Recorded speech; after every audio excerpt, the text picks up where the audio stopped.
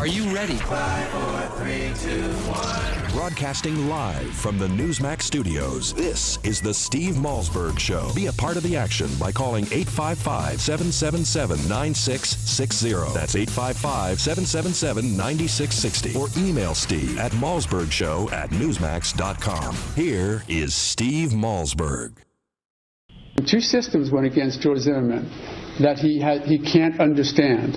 You guys, the media, he was like a patient in an operating table where mad scientists were committing experiments on him and he had no anesthesia. He didn't know why he was turned in to this monster, but quite honestly, you guys had a lot to do with it. You just did because you took a story that was fed to you and you ran with it and you ran right over him. And that was horrid to him. All right, folks. Welcome to the Steve Malzberg Show, Wednesday edition. That, of course, Mark O'Mara, the uh, lead defense attorney for the uh, for George Zimmerman in his uh, in his trial, and I'm happy to say we are joined uh, once again by Mark O'Mara. Mark, thank you for taking the time. We appreciate hey, it. Steve. Yeah, great. Good talking to you again. How you doing? I'm doing fine. I, I, I, I want to talk, uh, first of all, what you said there and, and, the media. You know, during the course of the trial, first of all, did you, you're allowed to, uh, you're not the jury, did you watch TV during the trial at all, or you had no time? I really had no time, so I didn't watch very much at all. I did get some of the high points from some of my staff, but I just really was getting ready for the next day every evening. All right, even you know, uh, even those who who were in so-called Trayvon Martin's corner um, admitted, and, almost to a person, with few exceptions, um, that hey, this isn't going well for the prosecution. That the the, right. the the prosecution witnesses are really turning into defense witnesses, and and then it, uh, then the turn from Saturday night after the verdict, Mark, the, the racism, race. How could this be? How could he not be held accountable? What's going on here? As if they were shocked. These same people who yeah. admitted there was no case here really for the prosecution, they are in attack mode, and they're still in attack mode. How do you? What to what do you attribute that? Well, you know, it's funny because I I had this sort of trial hypnosis. I thought that everybody in the universe was listening to every word of the trial. It was a great trial. It was a fair trial. And the jury deliberated. They came back with the right result because it was obviously self-defense. And I really thought that now we finally got the story out. People would realize that there would be calm, there would be peace, they would accept the verdict, and we'd be done. What I didn't realize uh, was that people who want to be angry about this case are never going to be anything angry about the case. They're not going to look at the facts. They're just going to say they had the mind made up from the you know 12 year old Hollister photograph and the 275 pound angry George photograph, and they were never going to change their minds. And unfortunately, they're going to maintain that anger for as long as they want to. Yeah, no, that that's absolutely right. And you know, it's almost one thing for the media to keep up what they're keeping up. But let me ask you, you know, there was a word association game, only I don't want a one word answer, uh, that was played by Headline News. And let me start with Angela Corey. When Angela Corey was asked George Zimmerman and was asked for a word, she paused, as you well know by now. She paused for about 15, 20 seconds and then had the utter gall to say, murderer. That day, that day that she said that, I had Alan Dershowitz, Andy McCarthy, Paul Callan, Lee Wheel four of them, I had five. Four of them, I, I revealed this to. They hadn't heard it yet. And to a person, they were outraged. What was your reaction when you heard this? Well, uh, my mother would have used the word peasant. She would because that to her meant somebody who just just has so little class in how they view something. I looked at that and I said, first of all, you're denigrating a jury verdict, which is completely inappropriate in our system. And by doing that, you're denigrating the entirety of the system, a system that not only are we as lawyers sworn to uphold, but that prosecutors have an additional level of, of obligation to maintain the, the faith in the system so that we can trust people to prosecute us properly. And then she comes out and says, in effect, the jury verdict was a travesty, I guess. I don't accept it. I don't believe it. He's not not guilty. I still find him guilty. It was horrible. It was inappropriate. And I think that she needs to answer for having done that to the system and to my clients. Ah, and I'm glad you asked that because when I told Dershowitz about it, when I told Paul Callan about it, both of them right away said, especially Dershowitz, that you and George Zimmerman have a, a, uh, a lawsuit for defamation a, a, a strong, strong lawsuit. Do you plan on pursuing that? Well, you know, I'm a criminal defense attorney. I'm not a First Amendment attorney, but you know, I remember from law school that you're not supposed to say something about somebody that is patently false with malice intent. And you know, she's a prosecutor. She knows the case. And by the way, she knew the case way in the beginning. She knew that she couldn't prove a second degree murder case, and she knew that it was self defense. It would seem and even with that, she follows whatever political motivations or pressure she has and decides to, in effect, sacrifice an innocent man's freedom to some other benefits that have nothing to do with the criminal justice system. I hope somebody asks her to explain that. Well, one more question on this, and I'll let and I'll let it go. Uh, uh, if George Zimmerman would not use you, he certainly has he discussed with you, or do you have any indication that he is interested in pursuing or might pursue a case against her uh, for defamation? Um, not a specific conversation, but he is extraordinarily frustrated with the way he has been handled in the last 16 months. And whenever I say something like that, people go, oh, but we have Trayvon Martin who's no longer here and passed away. I'm not being insensitive to that, but look, we have to be realistic. If, in fact, George Zimmerman acted in self-defense, with the which the jury has now said, then why do we not give him some of that benefit and say to him that he has rights too, and he can't be visited hatred by a prosecutor who lost the case fair and square?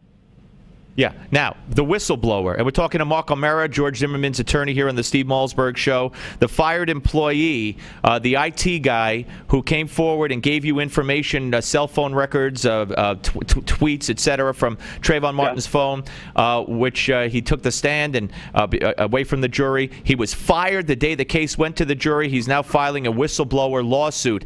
Um, what's your take on that? Well, first of all, let me clear something up. He never gave us any records. He didn't. He didn't give us any any information at all, except to tell us that to his attorney that there may have been some information out there that we didn't get. And then we put, we connected all the dots, but he didn't give us a report, give us a record or anything. Having said that, you know, in January, they had those reports. That is conclusive. We got them in June. That is conclusive. That is a discovery violation of Brady proportions. Brady means a lot to a criminal defense attorney, but the Constitution requires, even without request, that they give us information which exonerates my client. This is not the first time that they hid information from us. This is the tenth time, and actually only the tenth time we know about, because in 30 years of practice, I have never filed a motion for sanctions against a prosecutor for discovery violation. I filed six in this case. I, it's it's an absurdity. So, is it incumbent upon you to file uh, for these sanctions against the prosecution, and have you or will you? We have a motion pending. The judge, if you might recall, deferred it until after the trial. At the point where I called Bernie De to the stand, she the judge decided not to allow me to do that at that point. So we have a motion pending. It's going to be amended and it's going to be set for hearing. All right. Uh, let, let, me move on to to uh, Eric Holder. Eric Holder came out and said, among other things, uh, in front of a, uh, a, a, crowd at uh, you, a sorority crowd of I believe very prominent black women that I know you're troubled by the verdict. I'm troubled by the verdict. He talked yesterday about stand your ground laws, which I don't think had anything to do with this case whatsoever. And and there were reports, and Mark, they appear to be very legitimate reports, that the Department of Justice held a conference call with civil rights groups and people who have an axe to grind here saying, hey, they even set up an email uh, reportedly. If you have anything on George Zimmerman, if you have anything to help us bring civil rights charges against George Zimmerman, give it to us. What what the heck is going on in this country?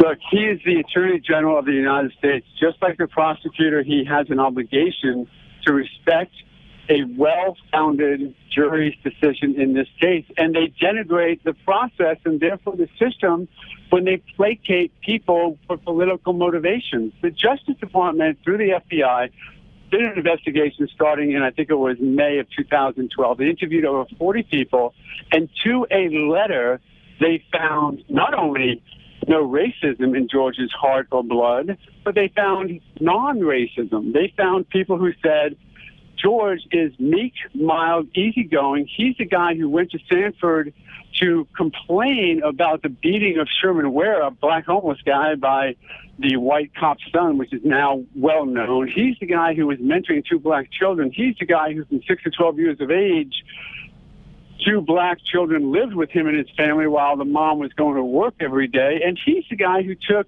a black girl to prom. So I think what they're doing is trying to placate the anger that's out there by saying, yes, they're going to do an investigation. They know they're not going to find anything because the FBI did everything they could to find it before and never did. All right, so Mark, uh, how likely you could use a scale of one to ten, or give me your own words? How likely is it that you believe either George that George Zimmerman will have additional uh, charges filed against him by justice? A one, and it's one rather than zero because in the absurdity that has been this case, if you had asked me that question 16 months ago, will he ever been charged with second degree murder? I would have said, well, I guess it's a one because those charges never should have been filed, and federal charges never should be filed. One more, one more. Jesse Jackson says Emmett Till, uh, Medgar Evers. Trayvon Martin, they're all the same. Tavis Smiley says black babies are being shot dead in the streets. The Washington Post does a whole story about echoes of the past uh, with the, the Zimmerman acquittal by a Southern jury, quote unquote. Um, I, I, you don't have to convince me there's no race here, but What's the motivation of the people that are doing this, do you believe? I believe that they're trying to put a square peg into a round hole to try and resurrect some uh, capital for an ongoing civil rights movement. And then look, I, I've represented young black males for my, the entirety of my career. And I'm okay with having to have a conversation, with wanting to have a conversation about how that's happening and some inequities in the system. It's just that George Zimmerman is not the guy for it. He's not the case for it. Get your cost shares off my clients then we'll have a conversation. All right, listen, Mark. I know you got to go. Thank you so much for your time, sir. Really, and and, and congratulations on a. While your heart breaks for the uh, Martin family, I know, but I, oh. I love I loved when you said you're always. You, so what'd you say? The jury. Uh, you you fancy that when you speak, the whole world is just uh, amazed or why? What did you say? What was that you no, said? No, somebody asked me what the best time. Best my best point to the trial. I said, look, I'm a trial attorney. I think every time I open my mouth, it's the best point to the trial. There you go. that's just trial hypnosis. All right, Mark, thank you. All right. Great Take care. You, again. you go. Take you too. Thank you. That's Mark uh, O'Mara, ladies and gentlemen. Um, I thought it was a, a, a good interview. So on a scale of 1 to 10, he believes there's a chance, a 1 chance that civil rights violations will be filed against his client. And he says it's one because he never would have thought there'd be a trial for second degree murder in the first place. So um, he's a good guy, and uh, we, we appreciate him uh, coming on. But what's going on? What's going on? The race baiting, the NAACP, Tavis Smiley. Oh, I mean, the list, you know, just keeps growing. Uh, what I wanted to ask him you know what I wanted to ask him? It's not even a question. I want him to weigh in on the lie. The lie that he was told to stay in the car. That's my hangup. And, and I forgot. Out of everything, I forgot that. But just go listen to the 911 tape. He was never told to stay in the car. He was egged on, says Juror B37. Not to be confused with Juror B52 or B17. On the Steve Malzberg Show. The Steve Malzberg Show. In 2013, half of your friends, family, and neighbors may lose their jobs, all while you are robbed of 90% of your life savings, investments, and home's value. Controversial economist Robert Wiedemer, who was the only expert to predict the recession, has released a startling video with shocking evidence that the powers that be have tried to ban. But that hasn't stopped 50 million people from getting the truth. Watch it at Aftershock911.com. Aftershock911.com. What is Lignet? Lignet is knowledge. Lignet is power. Lignet is global. Top level officials, U.S. intelligence officers, national security advisors, foreign operatives, all reporting directly to you. What is Lignet? Lignet is confidential. Lignet is sensitive. Lignet is security. What is Lignet? They're the ones taking the world's pulse. If you're not in the know, you're not on lignet.com. You've been briefed.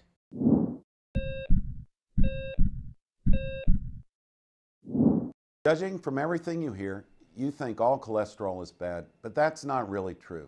You need a certain amount of cholesterol to maintain good health.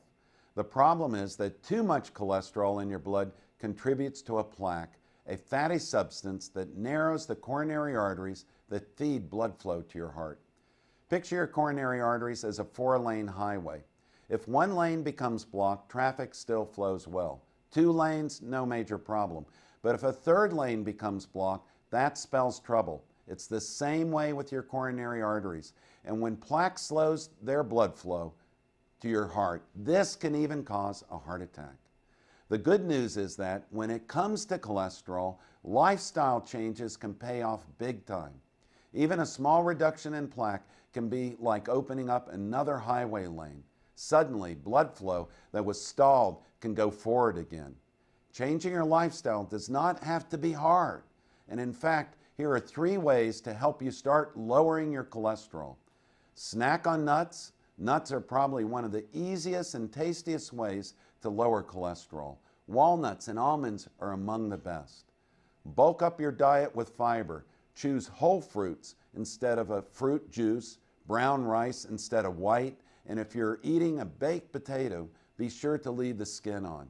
Choose fish. Fish contains cholesterol fighting omega 3 fatty acids. I'm Dr. Chauncey Crandall, and thanks for watching this Heart Health Minute. Remember, it's never too late to prevent or reverse heart disease. Right now, I invite you to discover your own risk for heart disease or even a heart attack by taking my quick, free online quiz at www.simplehearttest.com. I love you, son, so it hurts when you say I hate you. I'm your mother. I'm tired of you disrespecting me when you don't get your way. I work hard to make sure you have everything you need. I should be able to ask you to get out of bed in the morning without a fight. So from now on, things are going to be different. I ordered the Total Transformation Program.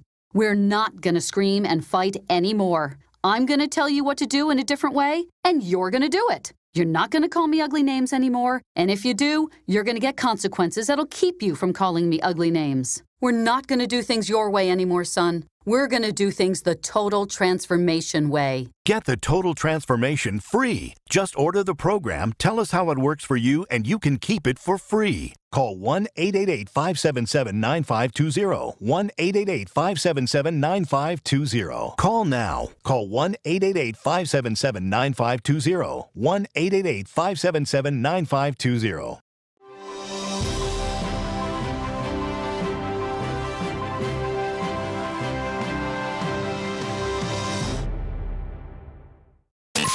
Where can you find the Steve Malzberg Show? Everywhere. From your smartphone to satellite radio to Newsmax Live TV to Roku, we have you covered. Here is Steve Malzberg. All right, folks, welcome back. In just a little while, uh, we're going to talk about just at the bottom of the hour. We're going to be joined by my Congressman Scott Garrett, and uh, we're going to talk about um, the uh, Trayvon Martin situation. We're going to talk about uh, the uh, the uh, behavior of uh, Eric Holder. We're also going to talk about the nuclear option, which was uh, averted in the Senate yesterday because of a so-called agreement. But Scott Garrett's not happy about that, and I'm going to ask Scott Garrett why it is that this Congress, the Republican-controlled House, will not, has not, and I've heard nothing about defunding. Why won't they defund? Parts of Obamacare. You know, that today they're going to pass another repeal of, of the whole bill, but, you know, that's great, but it's not going to be repealed, not under this Congress. But the House has the purse strings. Why not say, well, guess what? We're not going to fund the IRS agents who are going to, you know, who are needed for Obamacare. I haven't heard anything about that. And I keep asking people when we have healthcare advocates on or when we have congressional correspondents on. And I always say, Where, when are they going to do something? How many years has it been? And everybody says to me, That's a good question. Well, I'm going to put it to Scott Garrett. Um, also, uh, some news. We're going to talk to Howie Mandel. Howie Mandel, uh, America's Got Talent, the, the whole thing. He has a new show. He's not the host of it, but he's producing it. Uh, a guy named um, uh, oh boy. Okay, I don't have the uh, the, the, new host's name here, but we're gonna have both of them on. It, it's called um, Deal with It. It's called Deal with It, and it's a it's a show where uh, people go to a restaurant together. They take one of them aside somehow and give them a, a little earpiece and give them money if they'll do things that they're told to do in their ear- earpiece to the friend that they came with, like pour water on them or tell them a lie about something, and they get money for everything they do. So it should be an interesting show. It's on TBS tonight. Howie Mandel, I'm looking forward to talking to him. Actually, we, we did that uh, yesterday, and um, and um, so I'm going to be dressed a little differently, but we'll do that later in the show. Also, Daniel Pipes.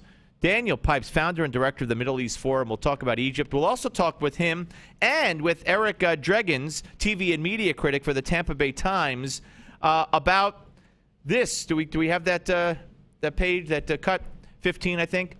Look at this uh, if you're watching at Newsmax.com, and I'll tell you what it is. Rolling Stone magazine.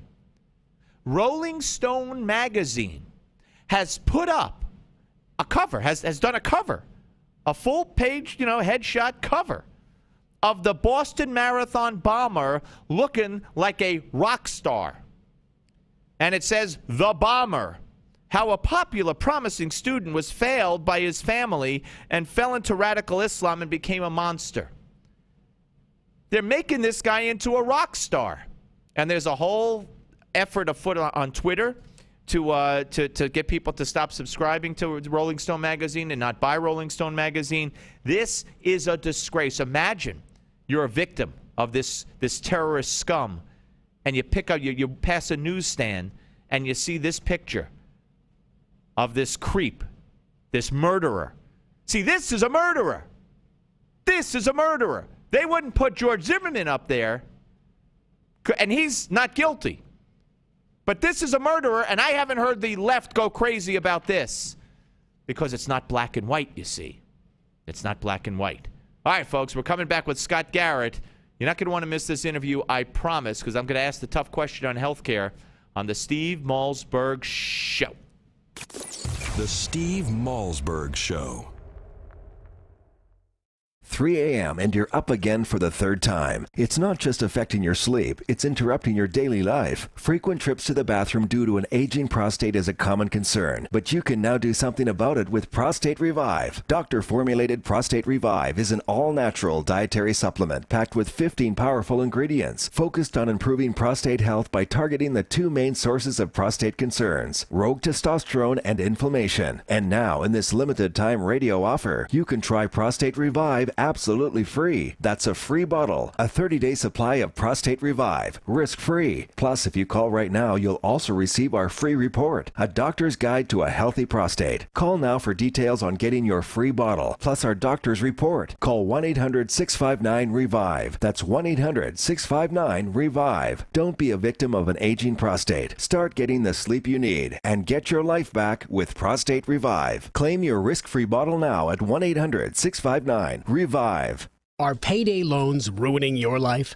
If you have two or more payday loan cash advances, listen closely. You may be eligible for a program that payday loan companies don't want you to know about. This program will get payday loan companies out of your bank account and put an end to the payday loan nightmare. Call for free information and find out if Payday Loan Support Center is right for you. Payday loan companies usually trap you into paying rates as high as 700%. We understand payday lenders' tactics. Don't let them take advantage of you anymore. All you need is two or more payday loans to qualify. We can help even if you're behind in collections or have bad credit. Internet payday loans qualify for this program as well. So call 800 250 5084. That's 800 250 5084. The call is free and the consultation is free. Don't miss out. Call for your free information on payday loan relief. 800 250 5084. That's 800 250 5084. Again, 800 250 5084. Guys, you've heard about Ageless Male, the natural supplement that helps boost testosterone levels within normal, healthy ranges. But now, the best testosterone product is even better. New and improved Ageless Male can help you feel more like you used to in your active life and in your romantic life. Because our upgraded formula has been clinically shown to increase your drive, desire, and performance. That's right, guys. Ageless Male has been clinically shown to boost performance. Cancel your plans this weekend.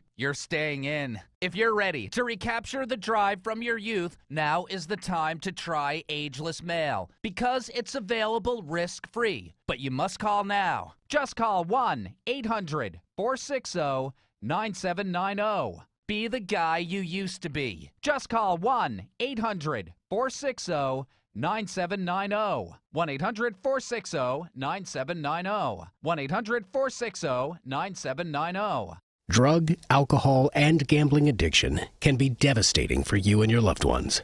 Don't let the disease of addiction ruin everything you've worked so hard for.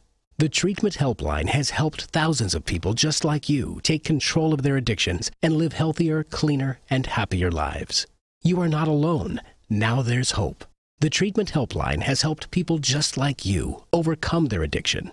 If you or a loved one is suffering from a drug, alcohol, or gambling addiction, let us help you today. Call 1 800 813 9821. Our seasoned addiction treatment professionals can show you how to use your private health insurance to help cover the costs of this life changing program. Call now and get a free confidential consultation. 1 800 813 9821. That's 1 800 813 9821. Help is only a phone call away. Call 1 800 813 9821. That's 1 800 813 9821.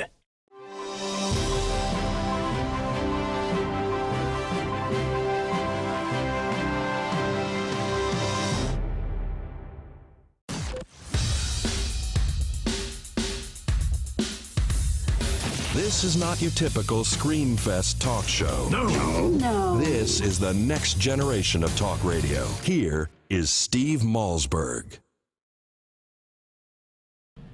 And welcome back to the Steve Malzberg Show. Joining us uh, now is my congressman. I love saying that. Uh, Congressman Scott Garrett from the great state of New Jersey. He, of course, is a Republican. He is on the Finance Committee. He's also chairman of the Congressional Constitution Caucus. Hello, sir.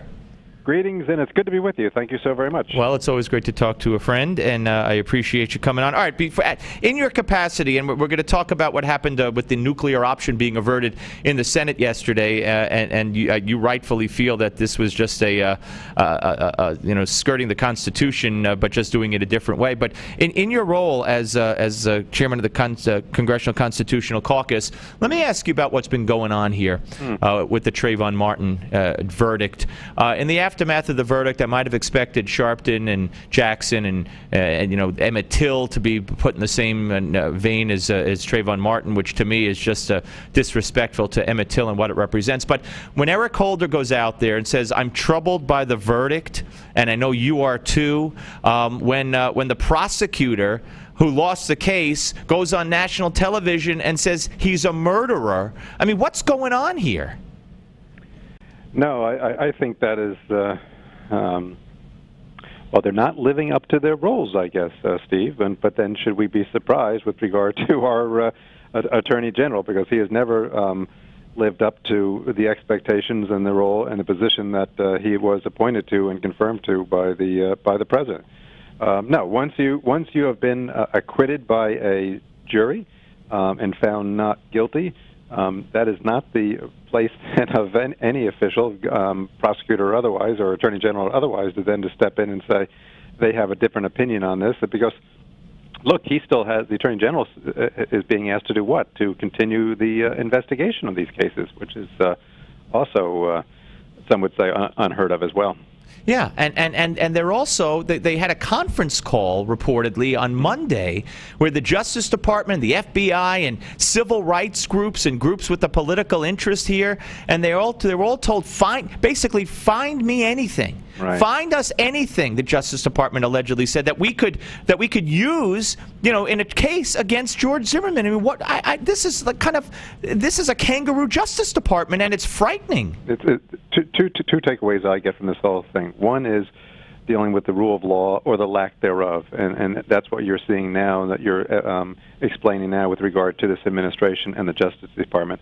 And in so many other areas, we've seen out of this White House a disregard for law um, that makes the United States what it once was a, a pinnacle of democracy and freedom and liberty uh, throughout the world that the rest of the world could look to to say this is where the rule of law uh, is always abided by, and we should try to um, aspire to it. So that is uh, one problem. And the other problem is just the way that everyone focuses on this, I'll call it tragic circumstance because someone died and it is a tragedy, uh, and yet all those same um, so-called civil rights leaders that you just mentioned a moment ago, where is their outrage? Where is their running to the microphones? Where is any of their uh, clamor for justice in all of the other um, murders uh, that we are seeing going on in Chicago and inner cities and elsewhere?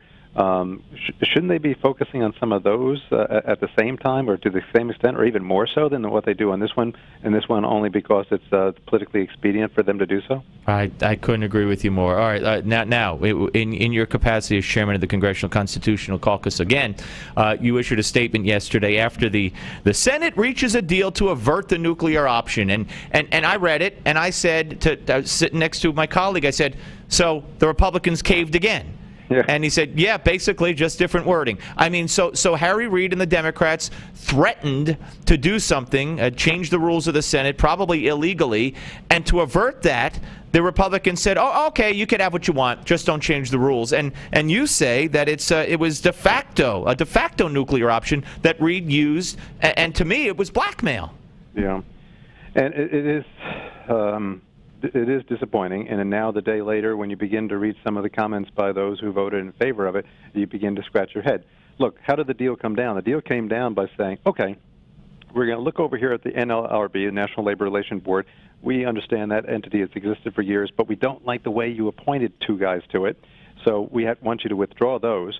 Then we're going to look over here at the CFPB, uh, Consumer Protection Financial Bureau, which, as Republicans, were totally opposed to and find it unconstitutional. And we also really don't like the guy that you appointed there, but we'll let that one stand. That is the one that's going to have a devastating impact upon our economy and uh, going forward. And for the Senate to have, for Harry Reid to take this action and the threat um, is wrong, and for the capitulation that we have seen here is also, as you said, leaves some people scratching their head. Yeah, and, and, so, but but this is what it is, right? I mean, this is uh, this is what the leadership in the Senate decided to do, and uh, and guess who I am told brokered this? Uh, the the great brokerer, Harry uh, uh, Harry Reid, um, um, John McCain. Yeah, the two of them, I guess, got together. Um, and, and agreed to it, um, but they were not able to do it without other people, you know, coming around them and supporting it. But you know, as we often say, you know, what would have happened if the shoe was on the other foot? And, and you know, the deal would not have been broken then. And hopefully, in 2014, 2015, if we do take back the Senate, I'm wondering whether the uh, the Senate minor, uh, Democrat minority at that time, Harry Reid, will he be so willing to uh, cut the same deal when uh, um, we want to try to move things through the uh, Senate at that time? Yeah, right. Well, yeah, right. Yeah, good, good, good luck with that. All right, uh, now uh, two quick things here. Well, not quick, but uh, uh, Chairman Bernanke uh, testified before your committee today. Sure. Um, you know, and, and basically, if I, if I'm correct, and I'm not a financial expert, what I took from it was basically status quo. Basically, things uh, aren't good enough for us to stop with the, you know, the pumping up the market and buying the bonds. Uh, but when we get there, we, we could stop. So, I, I, mean, what did you what did you get out of Bernanke's testimony today? No, I think I think you hit the nails on the head. I mean, one of my takeaways was when he made the comment. I wish I had the exact quote in front of me, where he said, "Our asset purchase programs have made the government money," meaning all these bond buying programs that he's engaged in have made money. Well, if that's so good and that's such the way we should be going, then I guess we should take the um, the Federal Reserve and go from their three trillion dollar balance sheet and make it a you know three hundred trillion dollar balance sheet. Let them buy up bonds continuously, and they can fund the government for us. They right, we'll wipe, make more money. Right, we'll make up more money. we'll wipe out the uh, the de- um, the deficit and then the debt in in several years. Um, but that's not the role. You know, they, they shouldn't be there saying, patting themselves on the back and saying, "Hey, we're making money." They should be saying, "You know, we've really gone further than any of the creators of the Federal Reserve ever dreamed that they would be with all their quantitative easing. And the other point to take away is is that no, no, it's not market fundamentals that is creating the volatility in the marketplace right now. You know, going up and down like you see so much. It is the actions of the Fed people are looking there and uncertain what they're going to do tomorrow that creates the volatility and so um, the uncertainty in the marketplace. All right, now healthcare. Was he asked about healthcare? And then let me also ask you about healthcare. I know you're voting today. You're going to uh, vote to uh, you know dismantle the whole, uh, cancel yeah. out the whole healthcare plan. But my answer, my question to you after you answer about Bernanke is, Why don't you guys, and when are you guys, and will you guys vote to defund part of this? Say, we're not going to give you the funding for the IRS to do this. When will we see concrete action from the Republicans in the House saying, you're not getting the money? No, I, I agree with you, and I supported um, efforts to do so. Um, what can I say? So, um, leadership, Republican leadership in the House does not see that as a strategy, and here's uh, I'm talking for them, not saying Right, that I agree right. with this. The idea is if you say you're not going to put X number of millions or billion dollars in this bill or that bill, um, then what happens? Well, the president will say, "What? I'm going to veto the bill." Um, which case, the funding for all those programs, or potentially the entire government, comes runs out, and then you come to the proverbial threat of a shutdown. Now, you and I have talked about this in the past, and I would say that at certain issues that are uh, constitutional or otherwise, you should be willing to go to that line and be willing to take that step. Um, in other words, willing to shut down government o- over certain principles Right. that are very important. So are you telling me, Congressman, that there are no plans among the leadership of the Republican Party in the House to, to withhold funding for parts of Obamacare, as many of us were led to believe, and, and which would result in, in a, probably a confrontation with the president if he vetoed it, but if it were passed, would result in, um, you know, real uh, dismantling of, of health care. That the, the Republicans do not want that fight and will not go that route. Is that what you're telling me today? well, I, I can't speak for leadership. All I can talk to you is what history is. Uh, But there, precursor all right, to has there been any indication, any No. talk that this will happen? No, I mean the Obamacare has been in place for a little while now, and we've gone through several appropriation cycles, and that has been, uh, you know, an avenue that some of us have supported that we'd go down, um, but it has not been uh, received positively as the approach to shut down the government. Look, you go all the way back to when the president first came in. That would probably, in my book, was our best shot of you know drawing lines in the sand.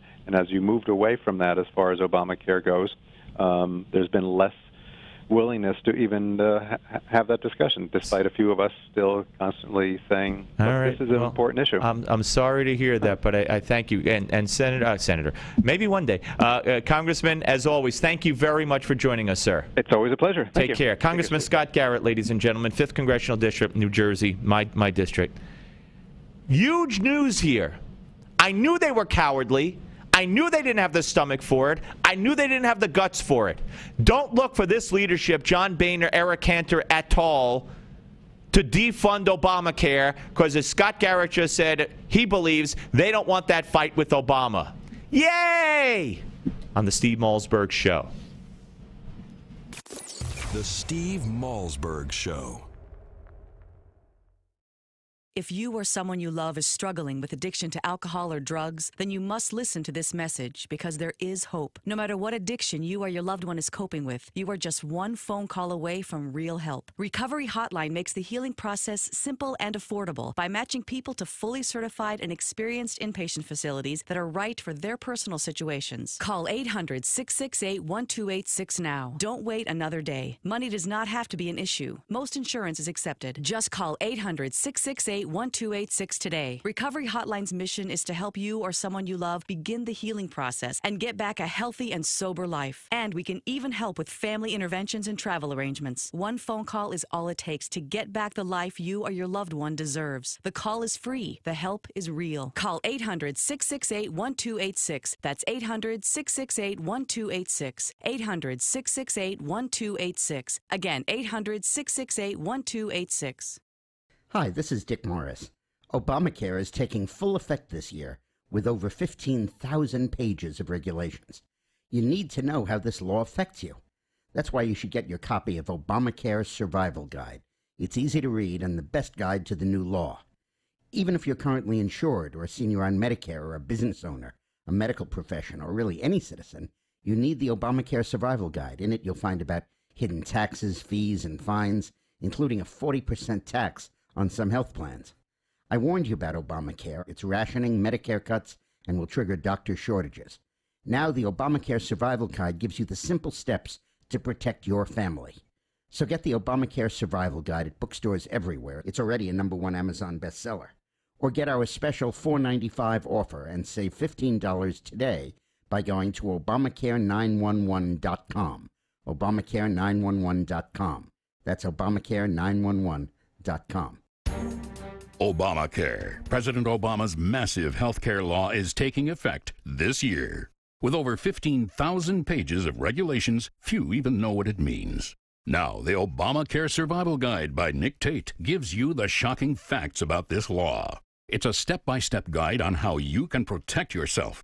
Already the New York Times bestseller, every American needs to get the Obamacare Survival Guide and find out about the new taxes, hidden fees, fines, Medicare changes, business rules, and why doctor shortages are likely. Donald Trump says the Obamacare Survival Guide is a must read for anyone worried about getting good health care for themselves or their employees. So get the Obamacare Survival Guide. It's at bookstores or get our special offer at Obamacare911.com and you'll save $15. Go now to Obamacare911.com. Obamacare911.com. Attention hip implant patients. Are you in constant pain? Have you received a letter from your doctor about your implant? Have you had or need a revision surgery? Do you have high levels of metal, chromium, or cobalt in your blood?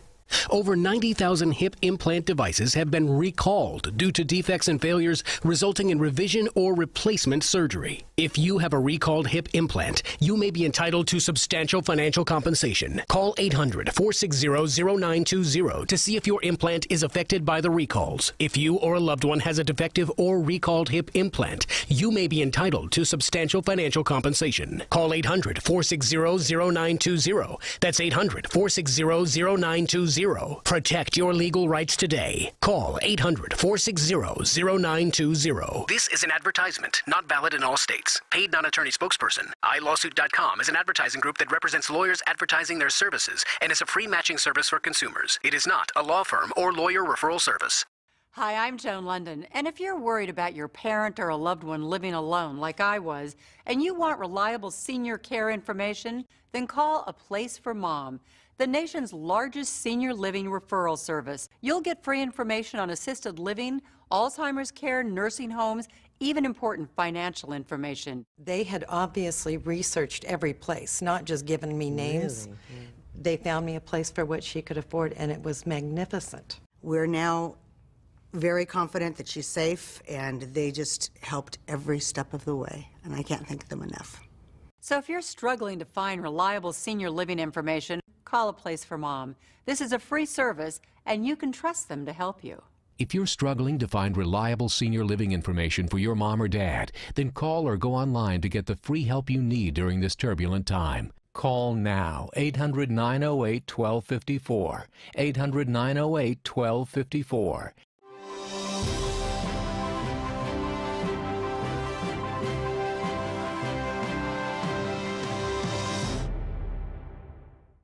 The Steve Malzberg Show is just a bit different from the other radio shows. We have TV cameras. Watch the show at Newsmax.com or listen on your favorite radio station. Here's Steve Malzberg. And I know I'm not everybody, I'm just one person. I'm a human being. But for the gift that God has given me, and for whatever I mean, I decided today that until the stand your ground law is abolished in Florida, I will never perform there again. And I know I'm not everybody, I'm just one person. I'm a human. All right. Um, we heard him the first time, Stevie Wonder, announcing at a concert yesterday, I believe, or the day before, that uh, as long as Florida has a stand your ground law, he will not perform there. Uh, this is a, uh, a, a, mantra, I guess, uh, that's been taken up uh, along with calling you know the decision in the Zimmerman trial racist. Um, now they're they're also trying to to use it as uh, an attack against stand your ground laws. you heard the the attorney general yesterday talking to the before the NAACP also questioning stand your ground laws. Um, unless I'm severely mistaken, stand your ground laws had absolutely nothing to do with the defense of George Zimmerman. He did not invoke it. He did not hold a, a, a hearing to try to uh, have his uh, charges thrown out based on stand your ground laws. Uh, joining us now to talk about all of this is Larry Pratt, Executive Director of Gun Owners of America. Hello, Larry. Hi, Steve. You know, the uh, uh, the wonderful reaction of Mr. Wonder makes you wonder if liberals get anything right. Uh, it was so plain. It, all you had to do was to look into what had happened uh, during the whole course of this, and people would have known. No, uh, Zimmerman was specifically given the opportunity to invoke stand your ground, and uh, his through his attorneys they said no. Uh, this was self-defense. There was no ground. Uh, he was on his back on the ground. Uh, it wasn't uh, wasn't an issue at all about standing his ground. He would have loved to have been standing on the ground. Right. He was on his back on the ground. Right now, they, they, they may invoke that um, to try to get a civil suit dismissed if one is filed, but notwithstanding, um, this is. Uh, uh, let me ask you what I asked Mark O'Mara before about the uh, you know feigned outrage in calling this a racially charged verdict, a racially charged case, because anybody who uh, is intellectually honest cannot believe that. Uh, so what do you? So do you? So is this just another example of the media, the usual suspects, running with this, you know, anti-gun theme or anti-stand your ground I, theme? I, I think that's exactly they're trying to use the the race card to move against guns. They really don't want us walking around with a gun, able to defend ourselves. And it really doesn't matter whether we're somewhere within the United States where they don't want us to have a gun because that just leads to more violence, or whether it's Benghazi where they withdrew armed guards protecting uh, the diplomats in that uh, town, uh, and, and shortly before, like two or three weeks before it was attacked and Americans were killed, they just think being able to defend yourself is counterproductive. And bless their hearts, if they don't want to defend themselves, be my guest. I'm not going to put them in jail for being stupid. Right, uh, but but leave the rest of us alone. And you know, I, I think that the rest of I, I think I think there are some on the left and in the media, and when I say on the left, it's it's almost um, you know uh, implies that.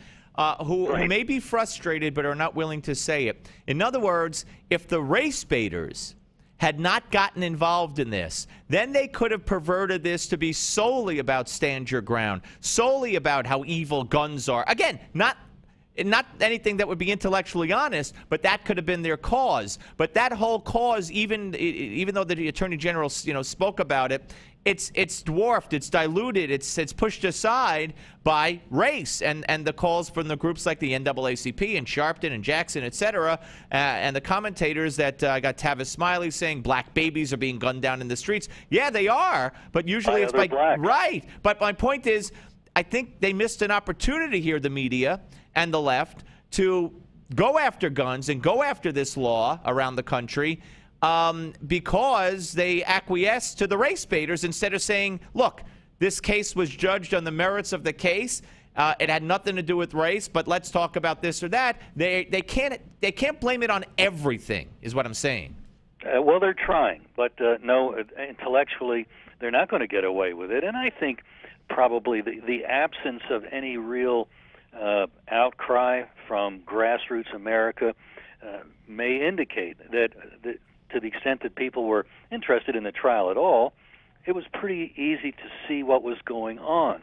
When I thought the most outrageous thing, now maybe somebody will have seen something even more outrageous, but for me, when uh, that uh, attorney that, to his shame, Governor Scott stuck on uh, the prosecution team, said, you know, uh, these are just minor uh, injuries, the abrasion on the back of the head, the broken nose. Kids suffer that all the time. Uh, is that was that Angela Corey or was it the male uh, guy who said uh, this is post trial? I think who said that uh, mothers send kids back onto the playground with those injuries. Yeah, it's one or the other. They're both equally uh, brainless and clueless.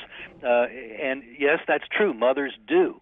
Uh, but this was just a little bit different. The kid didn't keep getting on the bicycle and and then jumping to bang his head onto the uh, to the uh, cement. Uh, this was somebody doing it for him repeatedly, according to the one eyewitness who uh, has a house about 18 feet from where this was occurring. But not only that, Larry, and we're talking to Larry Pratt, uh, President, Executive Director of Gun Owners of America, here on the Steve Malzberg Show.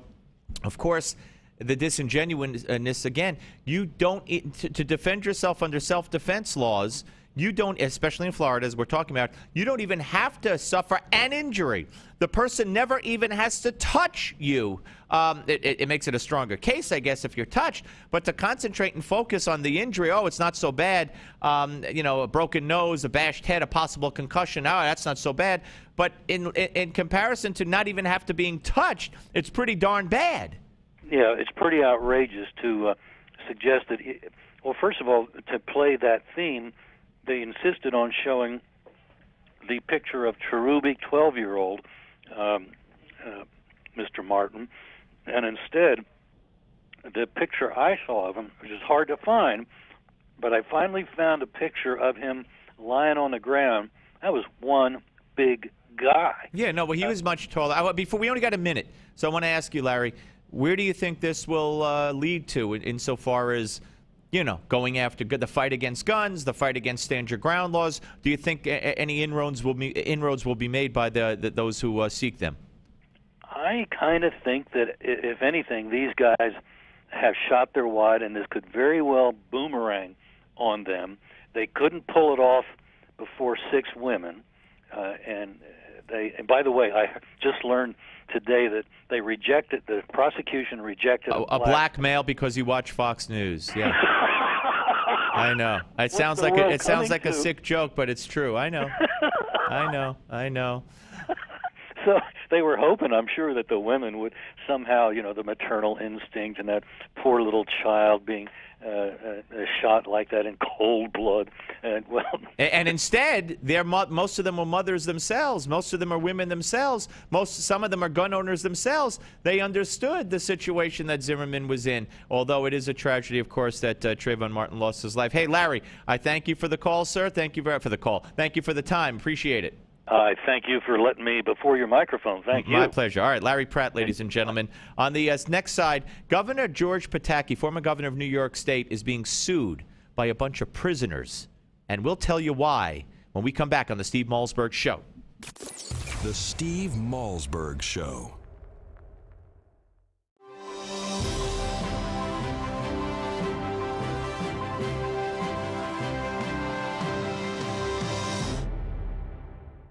If you need to lose weight and would like to get paid for it, that's right, I said get paid to lose weight. Just listen to the following announcement. The makers of GCE Green Coffee Bean Weight Loss are looking for real testimonials from real people and will pay you per pound to meet or exceed your weight loss goal. Until now, the secrets of green coffee's fat burning power has been limited, but thanks to Dr. Oz, the secret is out. And now, this authentic green coffee bean fat burner is available in easy to take tablets. There are no expensive meals to buy or strenuous workouts. Simply take one tablet before each meal and record your progress. Only the first 200 callers are guaranteed to be accepted into the program. So if you're serious about losing extra weight and want to earn extra cash for fitting into your skinny jeans again, call 800 383 9230 now. Call 800 383 9230. 800 383 9230. Space is limited, so hurry and secure your spot today. 800 383 9230. Some conditions apply. 800 383 9230. 800 383 9230.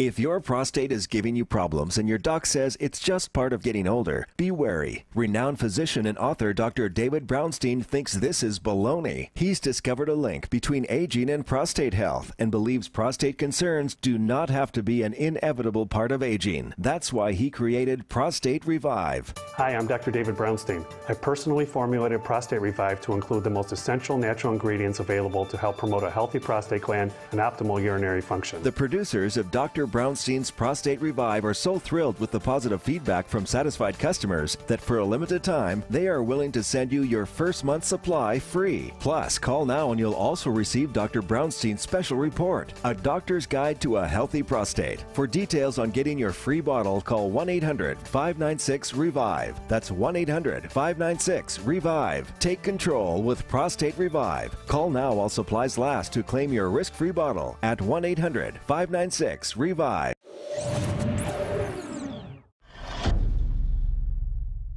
Hello and welcome to your Newsmax Now update. I'm John Bachman. A big deal just reached in the Senate late last night clears the way for a couple of President Obama's nominees to key administration posts. That includes Richard Cordray, who was confirmed today he will now head the Consumer Financial Protection Bureau.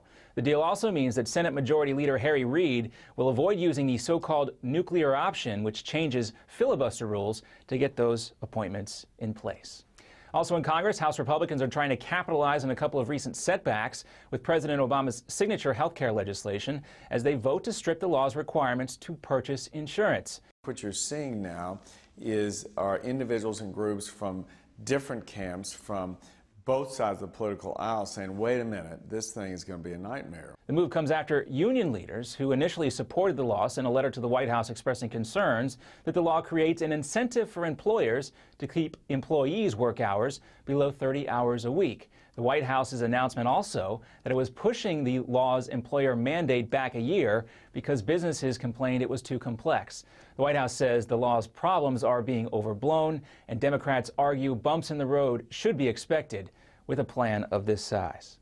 And authorities in Panama seize a North Korean cargo ship and inside buried under tons of brown sugar, they find old missile parts and equipment, all of it undeclared which means this may have been a violation of UN sanctions. The ship was being tracked by U.S. intelligence since it left Cuba, and get this, before the seizure, there was a brief standoff during which the ship's captain tried to slit his own throat. Well, it remains to be seen if U.S. Attorney General will bring federal civil rights charges against George Zimmerman, but Holder was more clear about his own feelings on these so-called stand your ground laws. While speaking at the NAACP convention in Orlando, Holder said the issue is a personal one to him because he has a teenage son and worries about his safety. These laws try to fix something that was never broken by allowing and perhaps encouraging violent situations to escalate in public. Also, the Reverend Al Sharpton is calling for a national day of protest. His civil rights group is planning rallies and vigils in 100 cities on Saturday in support of federal civil rights charges against George Zimmerman. And 83 survivors from Asiana Flight 214, the one that crashed in San Francisco, say they plan to sue Boeing, the plane's manufacturer. The multi-million dollar lawsuit is focusing on mechanical problems with the engine controls, emergency slides, and seatbelts. The next up on our Newsmax Now update, Fed Chair Ben Bernanke before Congress, his comments on the economy and what they may mean for investors. Plus, Senator Mike Lee on this week's rules debate in the Senate, why he says it was all just a Democratic distraction. Next. Hey guys, do you know your testosterone level? You should. Each year, declining testosterone robs more of your energy, drive, motivation, and even your ability to perform in bed. Take control of your testosterone today. Write this number down because Progene, the leader in dual action testosterone supplements, is now giving you a free supply if you call today at 800 592 4834. If you'd like to feel closer to 20 than 40 and get back that energy, drive, and confidence, call now to try Progene risk free. Don't believe us? We'll even prove it works. Ask about our at home testosterone test kits and see for yourself what Progene can do for you. Be one of the next 100 callers. We'll triple your order and send you a full one month supply of Progene for free. A $70 value for only the cost of shipping and handling. Call 800 592 4834 for details. Know your level and kick your drive back into gear with Progene. Call 800 592 4834. That's 800 592 4834. Again, 800 592 4834. In 2013, half of your friends, family, and neighbors may lose their jobs, all while you are robbed of 90% of your life savings, investments, and home's value. Controversial economist Robert Wiedemer, who was the only expert to predict the recession, has released a startling video with shocking evidence that the powers that be have tried to ban. But that hasn't stopped 50 million people from getting the truth. Watch it at AftershockVideo.com. AftershockVideo.com. Obamacare. More than a trillion in new costs. Hidden taxes, fees, big Medicare cuts, doctor shortages. How can we survive? To know Obamacare is to survive Obamacare. The Obamacare Survival Guide tells you everything you need to know to protect yourself, your family, your business. The Obamacare Survival Guide at bookstores everywhere. Special internet only offer right now at Obamacare911.com.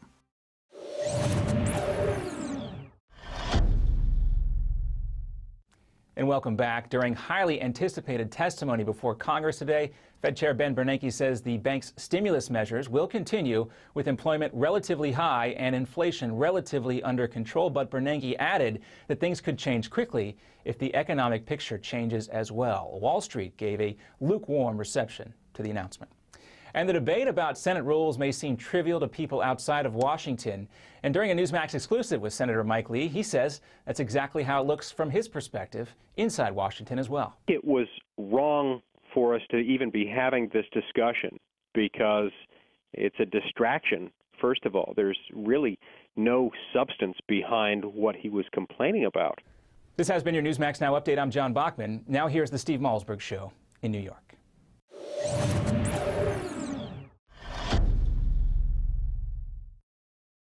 Are you ready? Five, four, three, two, Broadcasting live from the Newsmax studios, this is the Steve Malzberg Show. Be a part of the action by calling 855 777 9660. That's 855 777 9660. Or email Steve at malzbergshow at newsmax.com. Here is Steve Malzberg. All right, folks. Uh, you know, sometimes uh, we talk about stories uh, that are particular to a given area, whether it's in New York where I am, you know, Eliot Spitzer, um, uh, uh, Weiner, Congressman Weiner, running for president, all that kind of stuff, because it, it transcends just the locality in which uh, it's occurring. It, it it's uh, pertinent to the rest of the nation and what's going on. Here in New York State, uh, I think you're all going to want to hear about, and this this story, just when I first heard about this, it just I, I, I, I blew my mind. But you know what? I'm a shocked? Nothing shocks me anymore.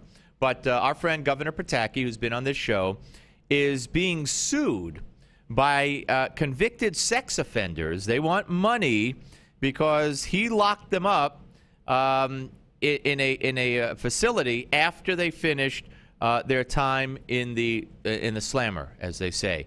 Joining us now to explain all of this is Jim McGuire, Governor Pataki's former chief counsel, judge, and assistant Manhattan DA uh, now uh, practicing attorney. Hey, Jim, good to see you. Nice to be here, Steve. All right, move a little closer and, and tell me, explain this to me. How it, how it, well, first of all, explain what the, the uh, inmates who are apparently running their own asylum uh, are claiming and uh, how Governor Pataki fits into this. They're claiming that an initiative the governor launched in September of 2005, pursuant to which certain convicted sex abuse offenders violent sexual predators under the New York law um, were evaluated by physicians to determine whether they had mental illnesses that presented a danger to the community and whether they were in need of, of, of treatment. And those who were evaluated by two physicians and then were sent from the state prisons before they were released, just before they were going to be released, so that they would not present a danger, they would be, remain committed, if a third physician agreed with the first two physicians. And they then had a right to ask for a hearing promptly thereafter. And the claim is that their federal due process rights were violated by the governor's initiative and that the governor and other state officials should be personally liable for millions of dollars, including punitive damages. All right. So this, when you say the governor's initiative, is this this was the law? What the governor did was, for many years, sought passage in the legislature of a bill that would expressly authorize exactly this. And don't tell me Sheldon Silver held it up.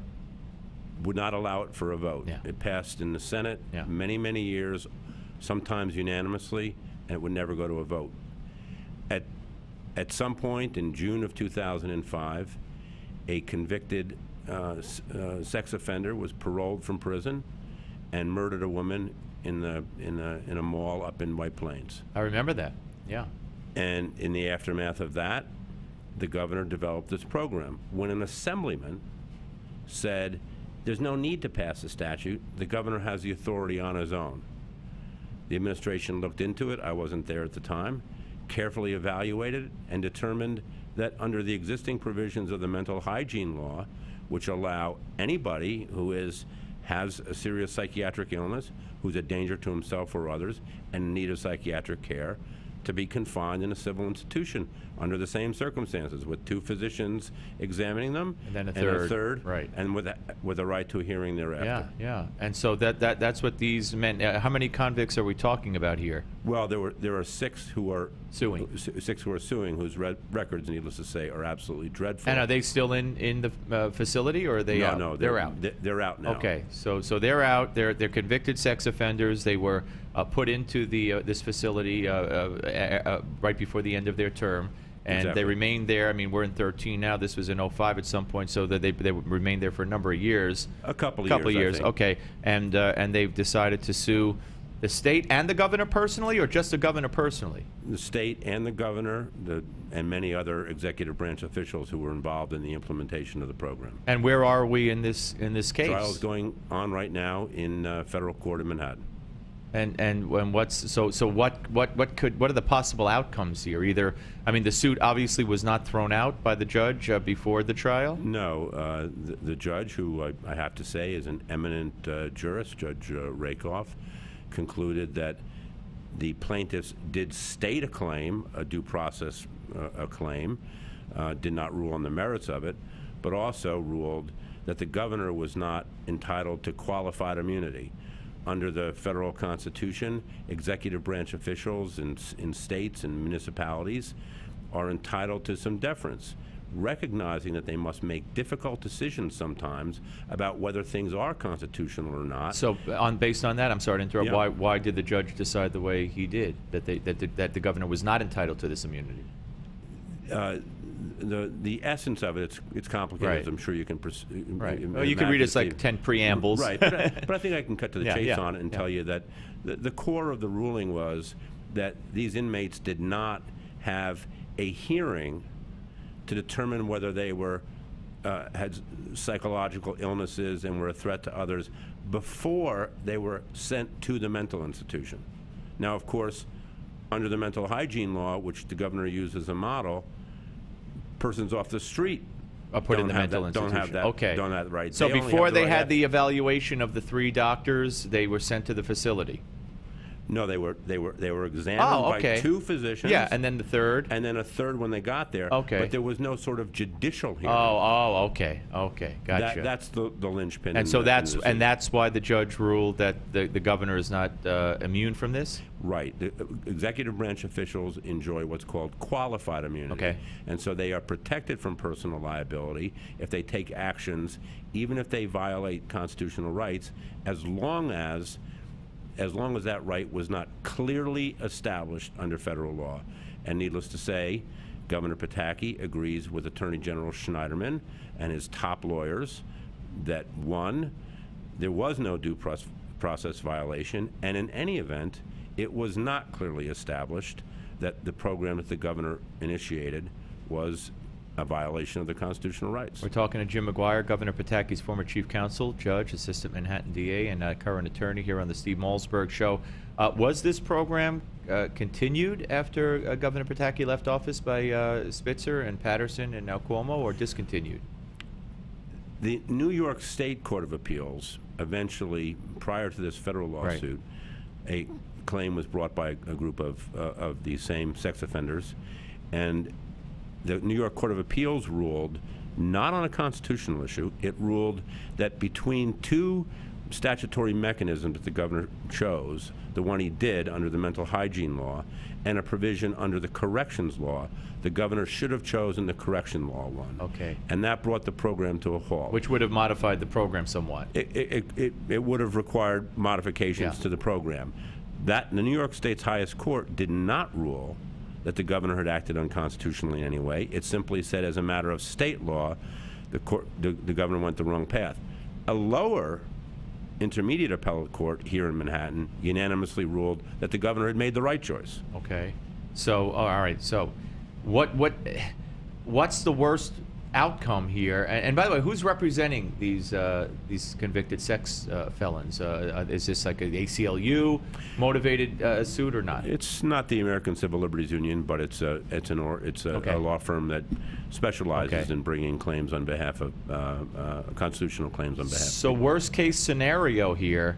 Um, how much could Governor Pataki be held liable for? millions of dollars, not only not only million dollars for the ostensible deprivation of their liberty interests, and I should add, Steve, that many of these inmates never even asked for the hearing that they were entitled to Okay. within three days of, of being confined in the institution. right. Millions of dollars in liability for each of them, and they are also seeking punitive damages. And what's the likelihood, in your view? I mean, I know it's an ongoing case. I like to be optimistic, and I like to believe that the jury will understand that the governor made the, the correct decision. I think the citizens of this state will know and believe that the governor, faced with the, the prospect of more and more people with an extremely high recidivism rate, including abusing young children, should be evaluated and every reasonable step taken to keep them in if they ha- have mental illnesses. Are there other such programs uh, around the country in other states? The, the, the governor's uh, statutory initiative, which was blocked in the, in the Assembly for many years, was modeled on a Kansas statute that the United States Supreme Court upheld, and many other states have followed it. Okay. Now, after the Governor Pataki left office, a Democratic governor was able to persuade the Speaker to do the legislation. Was that Spitzer or Paterson? Yes, Spitzer. Governor Spitzer. I've heard of him. Yes. Yeah, black socks, hats, this the whole thing. All right, so so so so they did pass it. Yes. So subsequently, it was passed in a post-Pataki uh, um, um, administration. Yes. So it is the law now. Yes, it is. the law Okay, all right. So that so uh, if it had been around, it would have uh, at that time if Sheldon Silver, who is the Speaker of the Assembly uh, here in the, the uh, state legislature in New York and has been for what about 75 years, um, he he wouldn't bring it up. So um, So the governor was really faced with a terrible problem Yeah. as a result of the intransigence. yeah, you let of the these people out on the streets or do something. And then an assemblyman says, "You don't need a statute. You have the authority to do it on your own." Governor's office looked into it. Right. His lawyers, the lawyers for the Department of Corrections, the lawyers for the Department of Mental Health, all evaluated and said, "You know what? We think that the assemblyman is right." And so they launched the initiative, and now we have a lawsuit. All right. Well, what's the anticipated uh, time? I mean, uh, trial-wise, as far as uh, you know, uh, we always get predictions when it's a, a a trial that we're, co- we're watching nationally. Uh, it could go three weeks, five weeks, eight weeks, two weeks. What, what we're in the middle Ex- of it. How much longer do you think? Excellent question, but I'm not involved in the day-to-day of Okay. it. I can't imagine that it would the trial will take much more than a couple of more weeks. All right. Well, when it when it happens, we'll either have you back when the verdict comes in, and if they allow the governor to uh, weigh in on this, we'd love to hear from him. It'd be a pleasure to come back, Steve. Thank you, Paul. Uh, uh, I'm sorry, Paul. I know Paul McGuire. Jim McGuire. I also worked with a Jim McGuire at WABC back in the 80s. It wasn't you. You'll be interested to know. Uh, Governor Pataki's former chief counsel. Thanks for showing up. My Appreciate it. pleasure. All right, folks, we're going to come back. Lots more ahead. And at the bottom of the hour, Howie Mandel. Don't touch him on the Steve Malzberg Show. The Steve Malzberg Show. Hello, my name is Fred Fleitz, and I'm the managing editor of Lignet. You've probably seen our name preceding some of the stories you read on Newsmax or heard Lignet referenced on Fox News, C SPAN, or CNN. Perhaps you've asked yourself, what is Lignet? Lignet is an acronym for the Langley Intelligence Group Network, a private Washington, D.C. based service that provides global intelligence, in depth analysis, and detailed forecasting. Lignet's staff and advisors include former CIA officers, national security experts, presidential advisors, and top level government officials from around the world. I myself held several national security posts for the U.S. government during my 25 year career with the Central Intelligence Agency, the Defense Intelligence Agency, the U.S. Department of State, and the House Permanent Select Committee on Intelligence. Our lead advisor is General Michael Hayden, the former director of the CIA.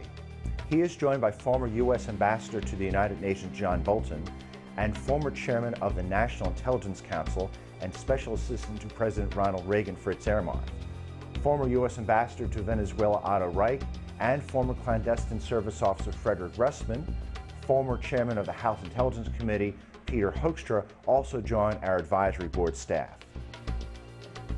Every day, our goal is to use our expertise, our resources, and our worldwide staff to take the pulse of the ever changing political and economic landscape and the threats we face on a daily basis. Whether you are following global events for your portfolio or business, or just interested in the world around you, Lignet provides what you need to know to keep up with global events. There are many. Every day, Lignet members receive the Morning Brief, a daily email that provides summaries and links to our daily analysis to keep you up to date on Lignet's assessments. Lignet members receive unrestricted access to Lignet's secure database of global analysis. All of our special reports, previous analyses, and exclusive video interviews with intelligence insiders are available to members 24 hours a day. But you also get top-notch analysis that resembles the President's Daily Brief, the classified intelligence assessment delivered to the President of the United States every morning. Lignet also sends breaking news emails to our membership list. If there is a development of global proportions or a terror alert, our subscribers are always the first to know. I hope you now have a better understanding of what Lignet is, but more importantly, recognize how truly invaluable Lignet can be. As the old saying goes, knowledge is power. Join Lignet for $1. Go to lignet.com.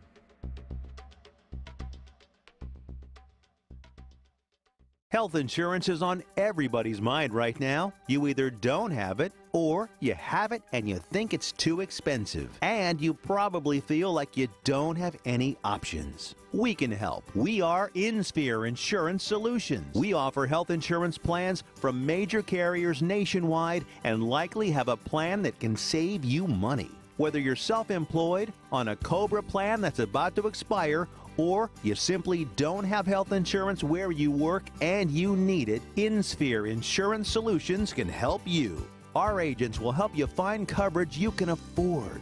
InSphere Insurance Solutions is an authorized agency in all 50 states, including the District of Columbia. Plans may not be available in all states. 800 980 9325. 800 980 9325. 800 980 9325. 800 980 9325.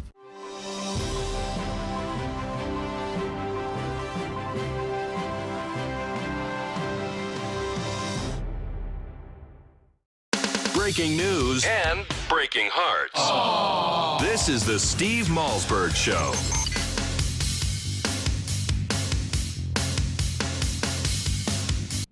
All right, folks, welcome back. Steve Malzberg uh, with you. Okay, let me let me let me tell you a little story.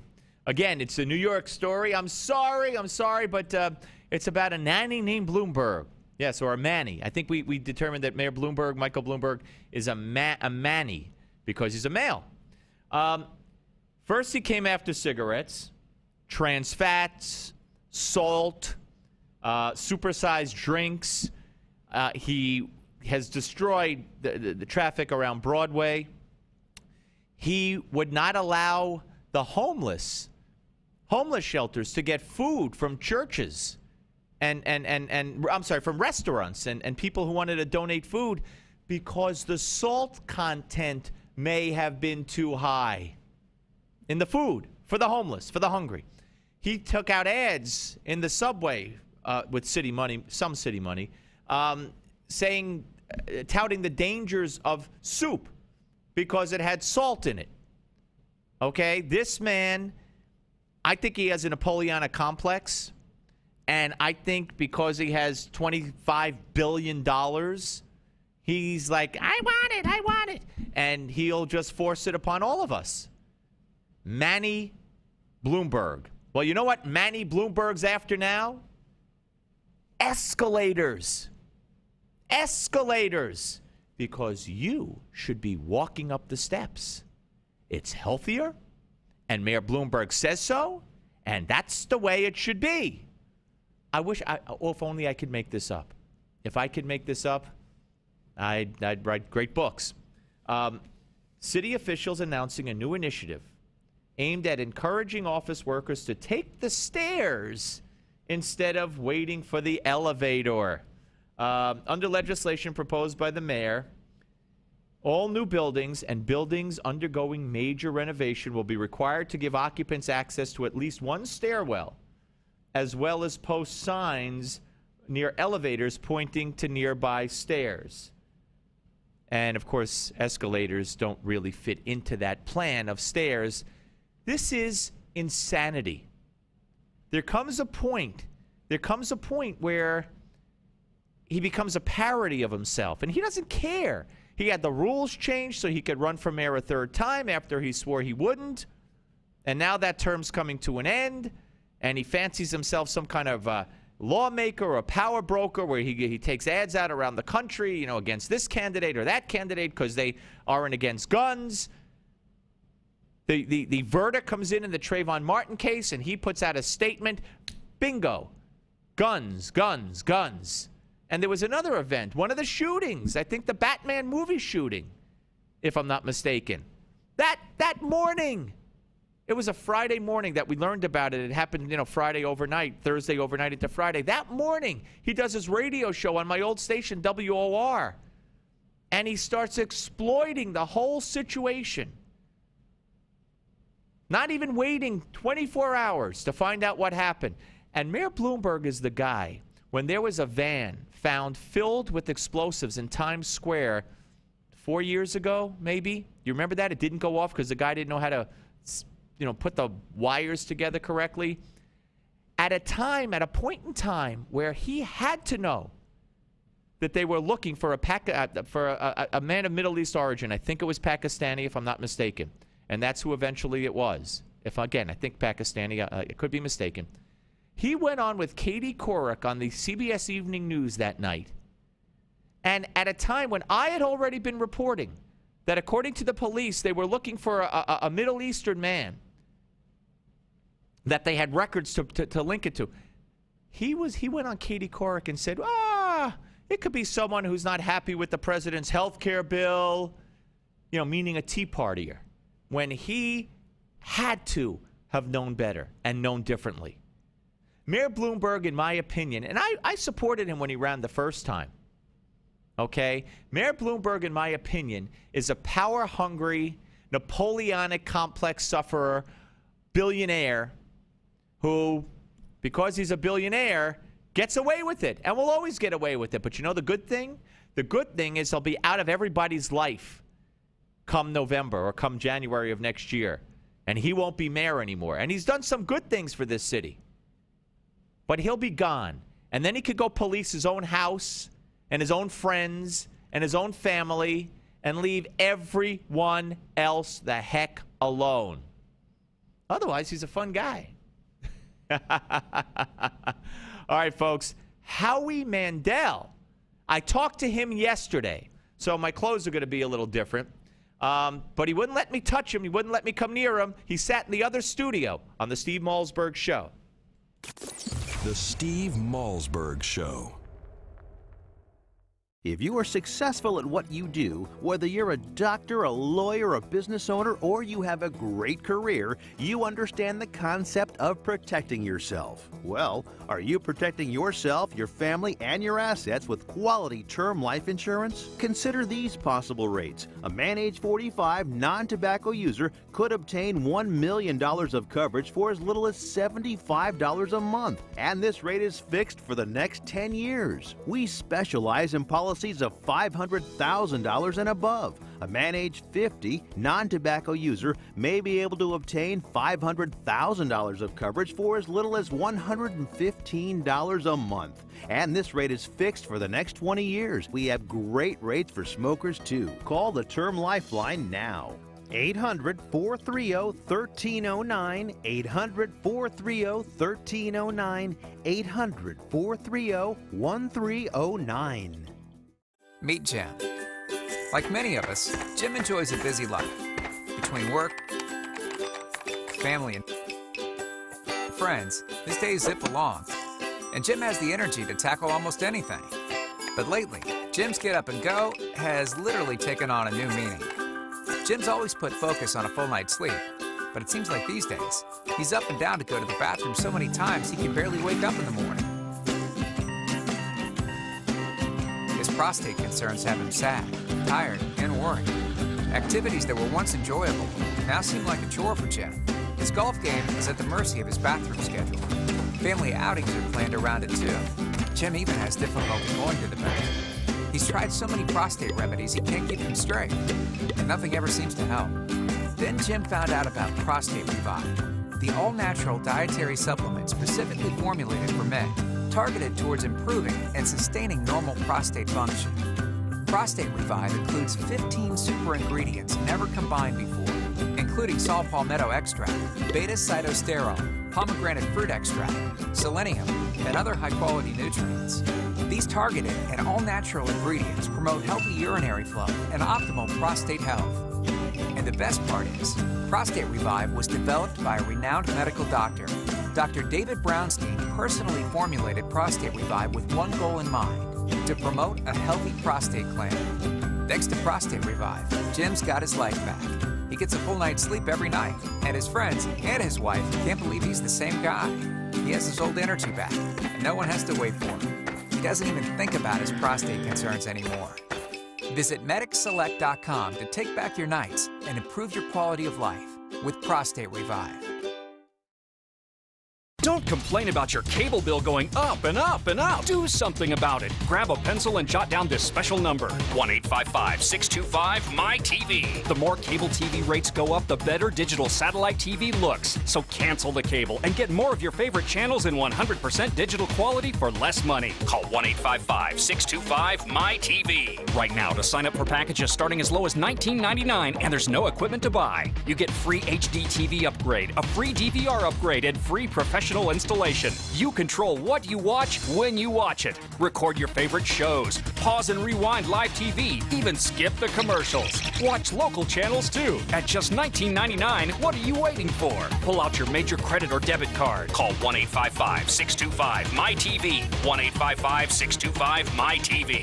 Cancel the cable, cut costs, and get more. 1 855 625 MyTV. 1 855 625 MyTV.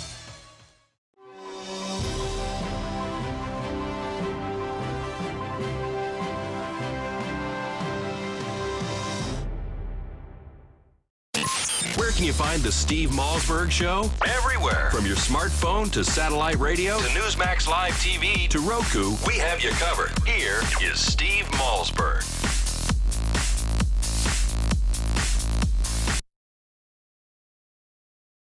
Would you risk your relationship? For the whole basket of chips. Your friendship? Brush your teeth at the table, rinse, and spit. Your self-respect? I peed on myself, okay? Put your pants back on. It's good, huh? For a pocket full of cash? You guys have been on a game show called Deal With It. I just won $5,000. Howie Mandel thinks so. A brand new hidden camera ambush series from the comedic mind of Howie Mandel. Deal with it. Premieres Wednesday, July 17th. Only on TBS. Very funny. All right, folks, uh, and that would be today uh, when you're seeing this, Wednesday, July 17th, and this show will debut. It's called Deal With It.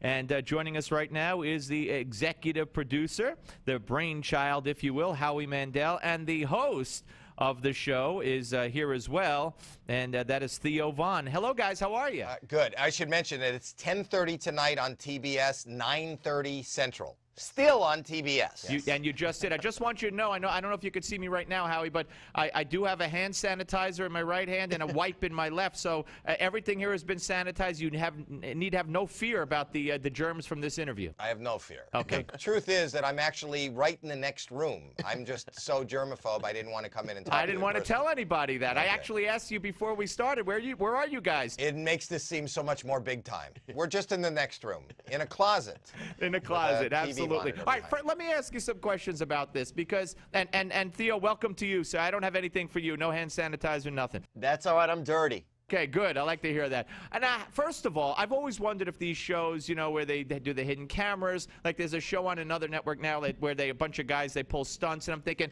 how do restaurants or dentist office or, or any of these places where they do these stunts to patients or or, or, or you know or patrons of a restaurant, how do they allow these people in, and are they legally culpable? So my question to you though is for this new show, deal with it. How do you get to people? Like if two people sit down at a restaurant, how how do you get to one Okay, to pull a stunt explain. on another? Well, here's number one. Number one, the restaurant lets us in because when you watch the show tonight at 10:30 on TBS, 9:30 Central, you will see that we, uh, and it's part of our agreement that we shoot the uh, exterior, so they get some kind of uh, publicity. So they're more than happy to do that, and we also assure them that ultimately at the end, the patron will be thrilled that they showed up in your establishment. So, because even if they're angry in the middle, even if it's awkward, ultimately when they find out it was just a game and they possibly won a lot of money, they're going to be happy and they could only have done that in your restaurant or your bar. So now, we just set up cameras in their restaurant and bar as per their permission. We watch all their patrons come in. Like the and- NSA. Yeah, we can hear you, we can see you, and we'll go, oh, look at that couple. It's a it's a mother and a daughter. And then we'll say, uh, Theo will say, like, let's bring the mother back. So we send over a waiter who's wearing an earpiece who can hear us, and he'll walk over and say, listen, have you been here before? Yes. Do you want to fill out a little form and maybe we'll give you a free lunch, a little questionnaire? And she says, sure. And he'll say, come back. And then she walks back, and then lo and behold, it's us sitting in the back. And Theo Yes. will say to her, I'll be, I'm standing in the back. Do you want to be on a game show? Do you want to win money right now? She says yes. I put an earpiece in her ear. Now she's back out in a game show. within a minute, you know, and tells her daughter she filled out a little uh, questionnaire and they're going to get a free lunch. Her daughter has no idea. And then we say, you can't, you will lose. You will not win any money if she thinks that you're on a game show, if she thinks it's TV, or anybody in the restaurant does. And then we give her challenges. We'll say to her, you know what, tell your daughter for $500, tell your daughter that uh, you're pregnant and it's not her father's. For $500. Deal with it. And then He she has the not the earpiece. All right, well, that explains it because, you know, sitting home, the savvy viewer like me always wondered, how the heck did they pull this stuff off? Well, you, you've now explained it. Um, and why don't you uh, uh, tell us a little bit about yourself, uh, Theo? I would have Howie do it, but uh, you'll probably build yourself up more than Howie would build you up. Yeah, I'll toot my own horn. Um, I started off in Road Rules, which is a reality television show, uh, and then I got into uh, Last Comic Standing, uh, half hour special on Comedy Central. So some of the same veins of reality television and comedy. I've um, always been a big fan of Howie. When they asked me to be on board, you know, um, I mean, when Howie says jump, you say Howie high. That's how I say it. Howie High. Okay, I, I know some people who went to Howie High, but um bum. Uh, let, let me ask you, uh, Howie. Um, you came up with this idea, and of course you you've had No, the I didn't. I didn't. This is a huge hit all over Europe. So my production company, I produce, uh, you know, approached it's Keshet, the same people that uh, are Homeland. respons- Homeland, yeah, uh, who do it. They're out of Israel. I said, can I bring this to America? And they allowed my company to produce this for America. All right, well, fair enough. But you, but you are the executive producer. So the Yep. shows that that you did that you've dealt with recently, America's Got Talent, Deal or No Deal. And by the way, Deal with it. I think you should have put maybe uh, a, a Deal with Talent, so you would have had a little bo- of both in there. But anyway, n- nonetheless, the show is called Deal with It. Um, is this a diversion? Are these shows so successful, and, and you hope that this show will be so successful because of it, it- people need a diversion from everything that's going on? Why why do they watch these kinds of shows? Do you think? Oh, that's a good question. I don't know.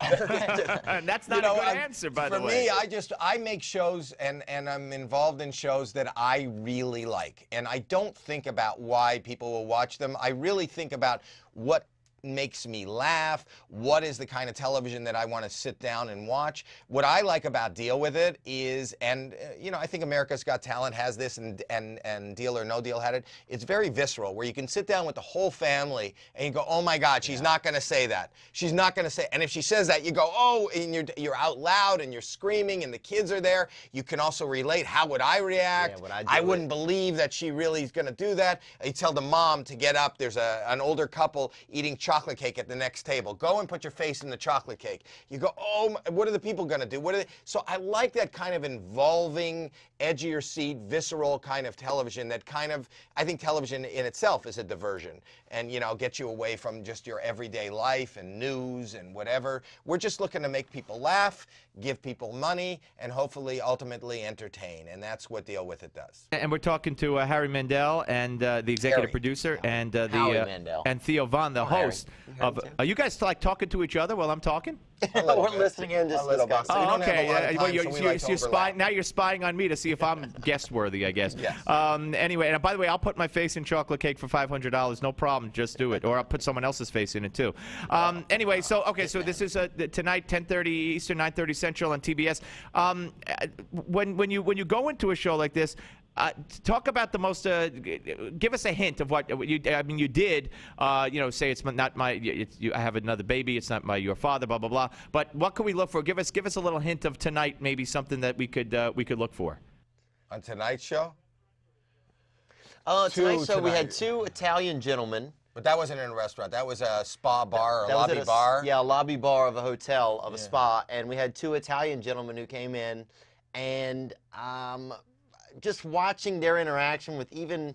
We had one guy. He, he had a he had him pulling his leg across. No. I told him. I told him to pretend he his foot's asleep, and ju- I wanted to get him to do something physical all over this public place. So get up and start jumping around like your foot's asleep, and then when his friend goes to help, ask for your friend for help. Make it as tough on your friend as possible. So sit down on the floor, then say the only way it's going to feel better is you got to get him to pull your leg and drag you all the way across the floor to the bar in a public restaurant. Will he do it? Could he do it? What would that look like if he does it? I'm not going to tell you the result, No, but no, it is yeah. crazy.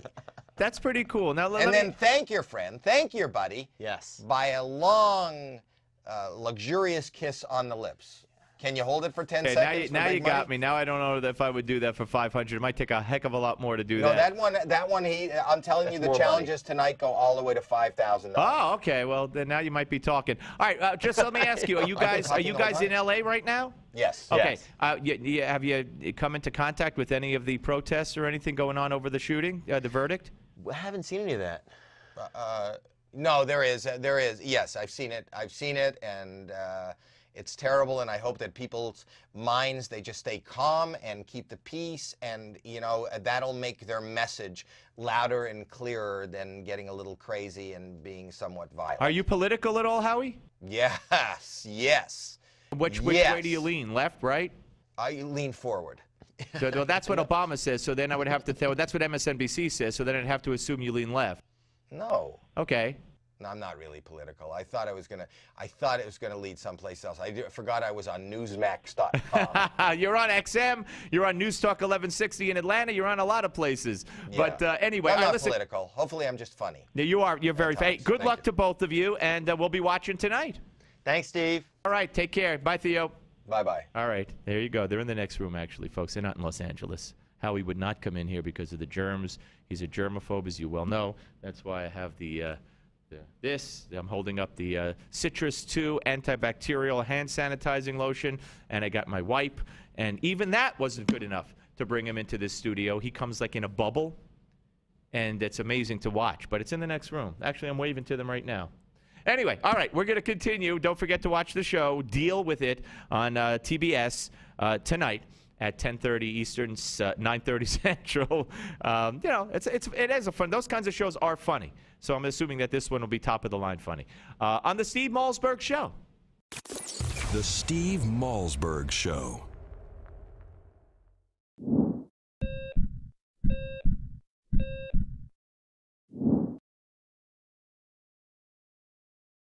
Heart disease is the biggest killer disease in America, and this doesn't surprise me. We are addicted to starches, sugars, fatty meats, and salt. People who live in countries with little heart disease eat very differently.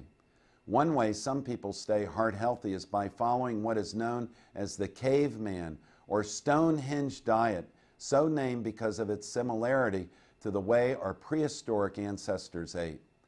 People who follow this type of diet live off local fruits and root vegetables and get their protein mostly from fish and wild game they shoot themselves. Now, since most of us don't hunt or fish for all our protein, here are some simple tips on how you can start to eat like a caveman, modern day style. First, fill up on fruits and vegetables. Eat them first, and you'll be less hungry. Feast on fish, which is rich in nutrients but not in calories. Choose fatty fish like mackerel, herring, sardines, and salmon, which are rich and heart healthy omega 3 fatty acids. Get out and go for a walk. Remember, our ancestors were hunters and gatherers, so they didn't spend their time sitting in front of a TV or computer all day. If you live more like a caveman or a cave woman, your heart will love you for it. I'm Dr. Chauncey Crandall, and thank you for watching this Heart Health Minute. Remember, it's never too late to prevent or reverse heart disease. Right now, I invite you to discover your own risk for heart disease or even a heart attack by taking my quick, free online quiz at www.simplehearttest.com. According to the FBI Uniform Crime Report, there are over 5,000 robberies every day. Your home could be at risk of being burglarized. Don't put your loved ones and valuables in jeopardy. For just over a dollar per day, your home can be protected from break ins, fire, and more. Get the latest home security technology from Protect Your Home, your ADT authorized dealer. Over 6 million households sleep better at night with ADT monitored home security. What's more, Protect Your Home is offering you their latest equipment, an $850 value, absolutely free for qualified customers. Protect your loved ones and home today. Call now for licenses and to find out more. The call is free 1 800 949 8201. That's 1 800 949 8201. Again, 1 800 949 8201. $99 installation charge, 36 month monitoring agreement at $36.99 per month. Payment by credit card or electronic bank account charge. For new homeowner customers with satisfactory credit history only. Local permit fees may be required. Certain restrictions apply. Cannot be combined with any other offer.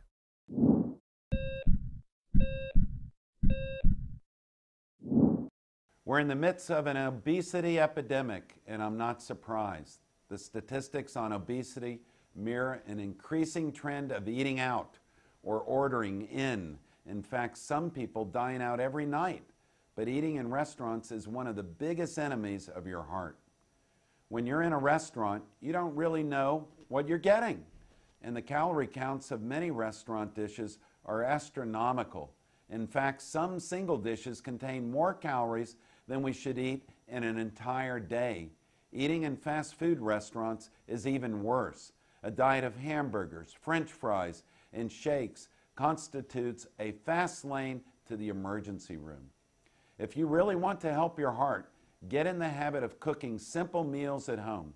Here are three easy tips that will make your food taste better than even the best restaurant. Choose the best fruit in season. Your local farmer's market is a great place to start. It will probably still cost less than that pie you were thinking of buying. Get in the habit of using fresh herbs. You can use them in egg white omelets or dust them on the fish you grill or bake.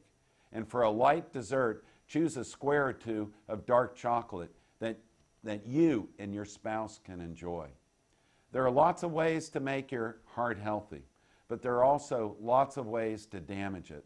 That's why I wrote Fix It, Dr. Crandall's 90 day program. In it, I'll tell you how to kickstart your metabolism every day, how to pick the best diet for you, how to stop hunger from sabotaging your diet, the seven superfoods for your heart.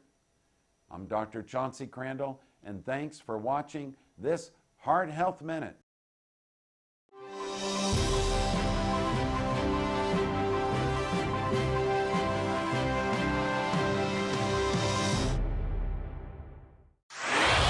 Microphones hot. Satellite link established. Studio lights illuminated. Cameras rolling. Audio and video encoders firing ones and zeros.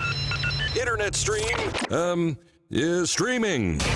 The most technology advanced radio show is on the air. Here's the captain of this enterprise, Steve Malzberg.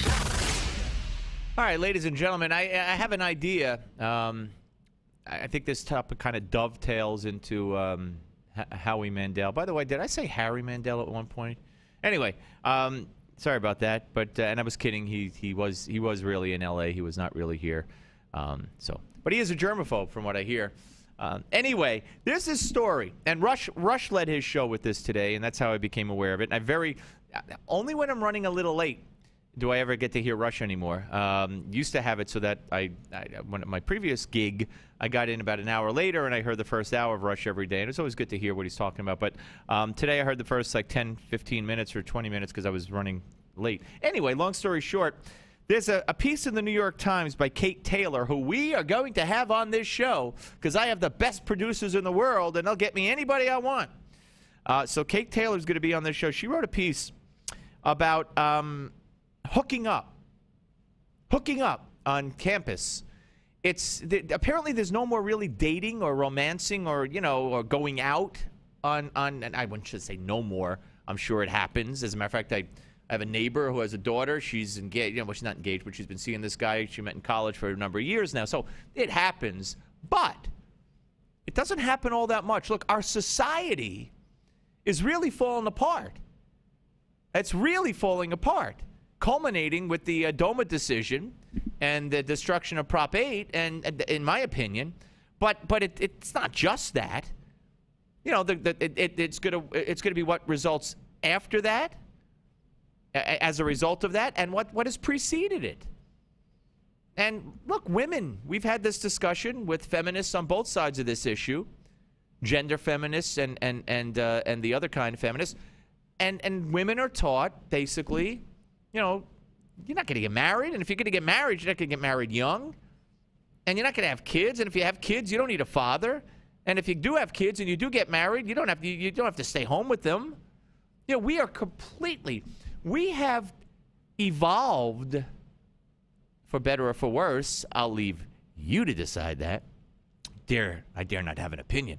Uh, we have evolved in such a short amount of time, basically in a generation. From my growing up with my parents to the next generation, to this generation, which uh, I, I, maybe there's been a you know, it depends on what age the ch- the kids are, but I mean, I got married relatively late and had a child when I was 40. But, you know, if I had had him a little earlier, so there were kids who were born, you know, late. But my point is, how many kids live with two parents? How many kids live with a mother who stays home and is there when they go to school, takes them to school, picks them up from school, cooks them dinner, is there at dinner, helps them with the homework, is there for moral support, i- i- i- is just there in the house as a fixture? How many kids? Everything's different.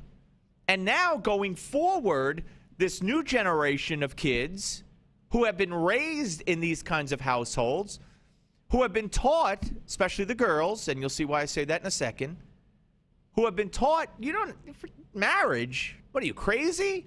You go out there and you get a career. You don't need, and you don't need a man, you know? So now we got this whole thing. Uh, the New York Times, and, and there's a there's a great piece on uh, Town Hall, townhall.com, ripping this piece by Courtney O'Brien. That's who wrote the Town Hall piece. Um, but basically, it starts off uh, uh, on a, at 11 on a weeknight earlier this year. Her work finished. A slim, pretty junior at the University of Pennsylvania did what she often does when she has little free time. She texted her regular hookup, the guy she's sleeping with, but not dating. No, sorry, control room. I do not have her text uh, information or her number or her picture or anything. Um, she texted her. Okay, uh, what what's he up to? The t- he texted back, "Come over." So she did. They watched a little TV, had sex, went to sleep. Uh, their relationship, she noted, is not about the meeting of two souls. "Quote: We don't really like each other in person." Sober, she added, uh, saying, "We literally can't sit down and have coffee." Ask well, ask her why she hadn't uh, hasn't had a relationship at Penn, and she won't complain about the death of courtship or men who won't commit. Instead, she'll talk about cost benefit. Cost benefit. Like the feminists have been pounding her, pounding her brain and her brain and her head and her head. Cost benefit. Um, what does that mean? Uh, it's a cost benefit analysis and the quote low risk and low investment costs of hookups. I positioned myself in college in such a way that I can have a meaningful romantic relationship because I'm always busy and the people that I'm interested in are always busy. And I know everyone says, make time, make time, said the woman who spoke on the condition of anonymity. By the way, have you ever seen the condition of anonymity? What is the condition of anonymity? How is anonymity doing? Um, I've always wondered that. But there are so many other things, she says, going on in my life that I find so important that I just, like, can't make time and I don't want to make time. It is by now pretty well understood, it says here, that traditional dating in college has mostly gone the way of the landline, replaced by hooking up, an ambiguous term that can signify anything from making out to, I'll say what Rush said today, a Lewinsky, uh, to intercourse without the emotional entanglement of a relationship. It's just, it's just very symptomatic of where we are. It's very symptomatic of where we are. And is it better this way? Is it better that this girl and, and I'll compare it to to the, the, the girl who lives in my uh, in my neighborhood, my, my my friend's daughter, who went to uh, University of Delaware. Met a guy. She's been seeing him for a number of years. She brings him home, you know, when they go on vacation. I saw him the other day. I said, "So when are you getting married?" Yeah, yeah, yeah. And they walked away. But the point, the point is, that's the way it should be. Well, who are you to say how it should be? I know, I know. I'm. Uh, let's see. What kind of bigot am I for saying that girls in college should, you know, want to date a guy and not just sleep with him? What kind? What kind of bigot am I? What kind of letter are you going to throw at me now? What am I? I can't be homophobic for that. I can't be racist for that. What, what, what am I? Think of something, okay? And text me. By the way, you could follow me. This is like a parenthesis, a huge parenthesis in my conversation here, in my train of thought, um, as I digress. I, I, never give this out. Follow me on Twitter at Steve M Talk. I get all choked up when I give my Twitter handle at Steve M Talk. Very easy. Whether you're listening on XM, watching at Newsmax, listening on in Atlanta on on, on the Talk of the, of the Town News Talk 1160 at Steve M Talk, or like my Facebook page, facebook.com/slash Steve M Talk. All right, so that's the best way you could follow me. Um, anyway, now close parenthesis, and we get back to this. This is what girls are being taught. This is what girls are learning today. Okay, and it's just a it's just the natural flow of what they the previous generation the the radical feminists have been teaching girls in college at least in this case they're not telling them you know don't go near a boy you know boy men are horrible although i'm sure that's still out there very prevalent but these girls who are just hooking up they're having sex uh, is that what you want your daughter to do at college when you send your, your high school senior graduated daughter to college, don't you hope she meets a guy? Don't you hope she meets someone nice, maybe? And, and, and if, if not the one, at least somebody that she could date and have a relationship with, and you know what? Or you say, or you say, no, hey, you know, hey Jane, just go there and sleep with as many guys as you can. Have as much sex as you want. No attachment. Move on to the next guy. There's something fundamentally sick about that. That's not that's not the society I grew up in. It's not the world I want my son to participate in. And it's a, it's just another symptom of a world where men are diminished.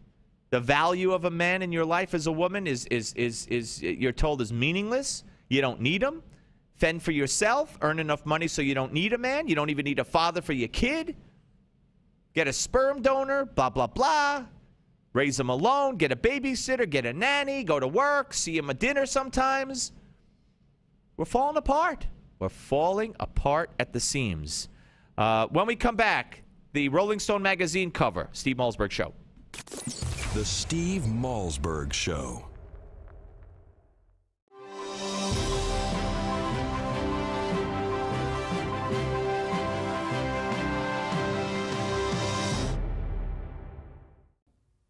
Hi, this is Mike Reagan. Folks ask me, what would Ronald Reagan do if he were with us today? I believe the first thing he'd do is stop Obamacare. Already it's in effect with higher taxes, hidden fees, skyrocketing insurance rates, big Medicare cuts. And some insurance plans are hit with a 40% tax. Protect yourself by getting the Obamacare Survival Guide. It's already a number one New York Times bestseller. Newsmax says it's the best guide to the new law, giving you the strategies, tips, and loopholes you need to know. If you're insured on Medicare, a business owner, a medical professional, just about anyone, you need this book. Get the number one bestseller, The Obamacare Survival Guide, at bookstores everywhere. Or get our special $4.95 offer and save $15 off the cover price by going now to Obamacare911.com. Obamacare911.com. That's Obamacare911.com. Here's today's silver shortage update from Lear Capital. Reports keep coming, the shortage is growing. Twice already this year, the U.S. Mint has run out. Last time this happened, the silver price jumped 40%. It's time to take advantage with this special offer from Lear Capital. For a limited time, buy 20 new silver polar bear coins and get one free. The only 1.5 ounce coin on the market. It's minted with the finest silver, carries a government guarantee, and is eligible for IRAs. The Silver Polar Bear is available exclusively from Lear Capital. But don't wait. Silver supplies are shrinking and availability is not guaranteed. This offer is limited to a minimum purchase of $5,000. Call right now. 800 634 0482. 800 634 0482. Call Lear Capital now. 800 634 0482.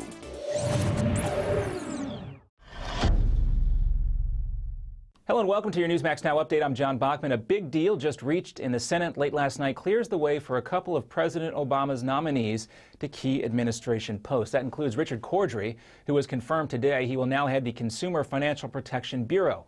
The deal also means that Senate Majority Leader Harry Reid will avoid using the so-called nuclear option, which changes filibuster rules, to get those appointments in place.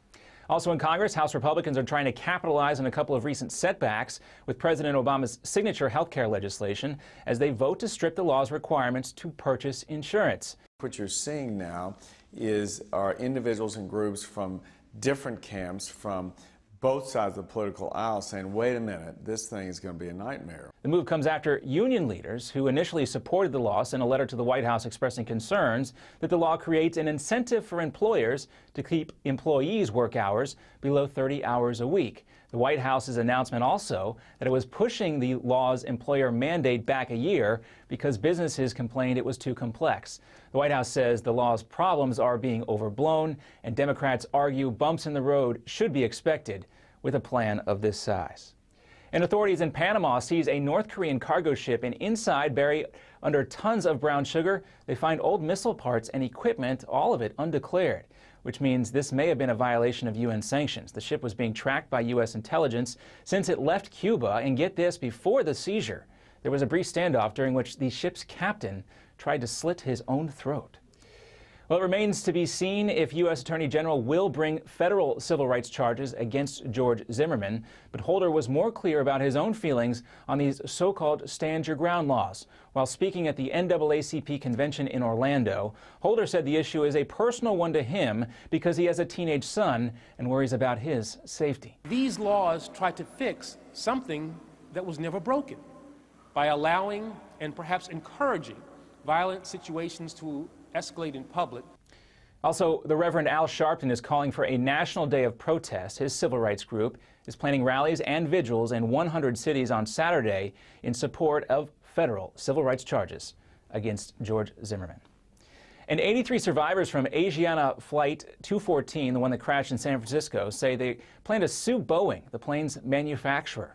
The multi-million dollar lawsuit is focusing on mechanical problems with the engine controls, emergency slides, and seatbelts. The next up on our Newsmax Now update, Fed Chair Ben Bernanke before Congress, his comments on the economy and what they may mean for investors. Plus, Senator Mike Lee on this week's rules debate in the Senate, why he says it was all just a Democratic distraction. Next. In 2013, half of your friends, family, and neighbors may lose their jobs all while you are robbed of 90% of your life savings, investments, and home's value. Controversial economist Robert Wiedemer, who was the only expert to predict the recession, has released a startling video with shocking evidence that the powers that be have tried to ban. But that hasn't stopped 50 million people from getting the truth. Watch it at Aftershock911.com. Aftershock911.com. What is Lignet? Lignet is knowledge. Lignet is power. Lignet is global. Top level officials, U.S. intelligence officers, national security advisors, foreign operatives, all reporting directly to you. What is Lignet? Lignet is confidential. Lignet is sensitive. Lignet is security. What is Lignet? They're the ones taking the world's pulse. If you're not in the know, you're not on lignet.com.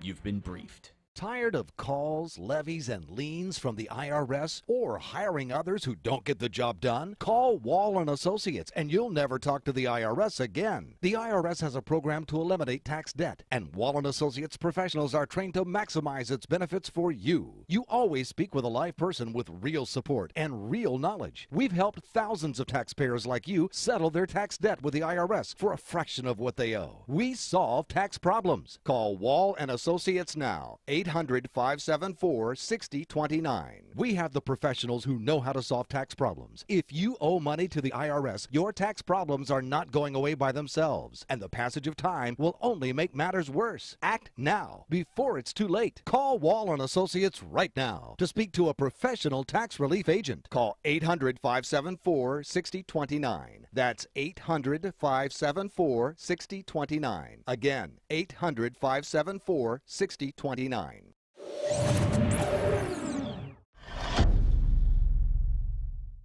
And welcome back. During highly anticipated testimony before Congress today, Fed Chair Ben Bernanke says the bank's stimulus measures will continue with employment relatively high and inflation relatively under control. But Bernanke added that things could change quickly if the economic picture changes as well. Wall Street gave a lukewarm reception to the announcement.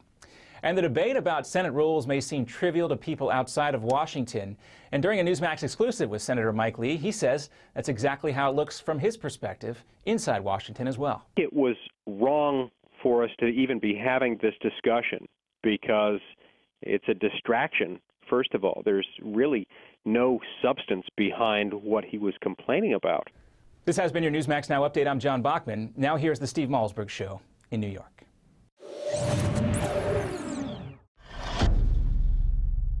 Are you ready? Five, four, three, two, one. Broadcasting live from the Newsmax studios, this is the Steve Malzberg Show. Be a part of the action by calling 855 777 9660. That's 855 777 9660. Or email Steve at malzbergshow at newsmax.com. Here is Steve Malzberg. All right, ladies and gentlemen, uh, we are back. Welcome to hour number three of the uh, Wednesday edition of the Steve Malzberg Show. Uh, coming up at the bottom of the hour, uh, Dr. Daniel Pipes will join us, founder and director of the, the Middle East Forum. And we're going to talk about a whole bunch of things uh, with him. But uh, before that, uh, Bruce Springsteen, uh, noted leftist, and let, let, let, me, let me give you a confession here. I was a huge Springsteen fan. I went to, I must have been to, I don't know, 25 Bruce Springsteen concerts. I think I went to the first Bruce Springsteen, I know for sure, 1980. 1980, the River album. Uh, Madison Square Garden had pretty darn good seats, too. Went to see uh, Bruce Springsteen and um, played four hours. It was Thanksgiving week. Thanksgiving week. Check it out. Check, go Google it. I was there. Anyway, um, and, and, and it was a friend of mine I was on a picket line with back then. There were three of us, four of us. Uh, don't ask; it's a long story. And he got me into Springsteen. But um, then there came a time when uh, a, uh, uh, a, shooting took place in New York, and it was uh, called the it was the shooting death of Amadou Diallo. Amadou Diallo was killed by New York City police, undercover police, in the vestibule of his of his apartment building. 41 shots were fired by police officers that night. 41 shots. I don't remember how many hit Amadou Diallo. But immediately, of course, because Amadou Diallo was um, a minority, I think most of the cops were white. I, I can't attest to the fact. I don't think all of them were. Racist cops, racist cops. Why would anybody have to shoot 41 times, et cetera, et cetera, et cetera? Well, Bruce Springsteen wrote a song for Amadou Diallo called American Skin. American Skin. Basically, if you're black in America, it's open season. Uh, I guess in, in this case, referencing the cops. Let's listen to, uh, to some of that, that song, American Skin, Bruce Springsteen, and I forgot what, what told, what, oh, this is 14.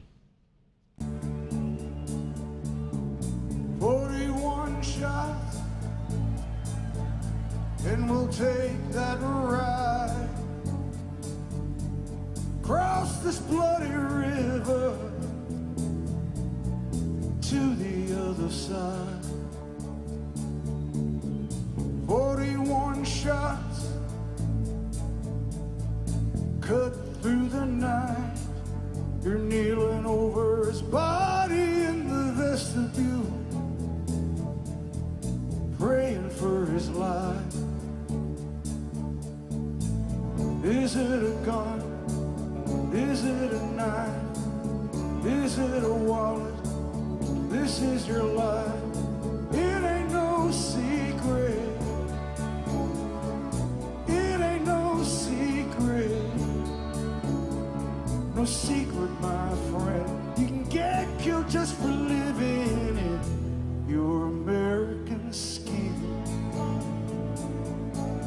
Right, Bruce Springsteen uh, sang that again last night, apparently. Not that, that's from a while ago, and dedicated it to Trayvon Martin. Uh, back when Bruce Springsteen wrote this song, uh, before the cops were tried and acquitted by a jury with a black foreman, a, a trial that was on television. And the reason he said, Is it a gun? Is it a knife? Is it a wallet? First of all, I'll just give you a quick synopsis. Uh, the the uh, the defense proved they didn't have to prove anything, but the defense proved that uh, Amadou Diallo uh, disobeyed orders. He didn't speak English that well. They told him put his hands up. He reached into his pocket. He pulled out something. One of them shouted "gun," and then all hell broke loose. Okay. Turns out, and I had no idea, but I saw this at the trial, and you could Google the trial and read the testimony. There is something called a wallet gun. The, the defense attorney for the officers held up a wallet in one hand and a so called wallet gun in the other and said, Can you tell which I have in which hand? Which, which, which hand has the gun? Which hand has the wallet? They couldn't. I couldn't tell. They couldn't tell. They acquitted the cops. And Bruce Springsteen, I had tickets for him. This is going back to 2000 and I don't know, two, three, whenever the trial was, maybe earlier. And I had tickets for him that night, on a particular night at Madison Square Garden, floor seats. And when I found out from my friends at the PBA, the New York PBA, that Springsteen would not take their call, Springsteen's representative would not talk to the head of the PBA, Pat Lynch, so he could explain the cop side of the story and not sing 41 shots before that trial of those officers. I auctioned my tickets off on the air and gave the proceeds to the uh, uh, uh, Patrolman Benevolence Association Widows and Orphans Fund. Got a couple of grand for him. And ever since then, I see Bruce Springsteen in a different light. Okay, just thought I'd, I'd say that. All right, now we are joined as we switch topics, kind of. Uh, we, we speak to uh, Eric Deggans, T- TV and media critic for the Tampa Bay Times and author of Race Baiter How the Media Wields Dangerous Words to Divide a Nation. Hello, Eric. Thanks for coming on.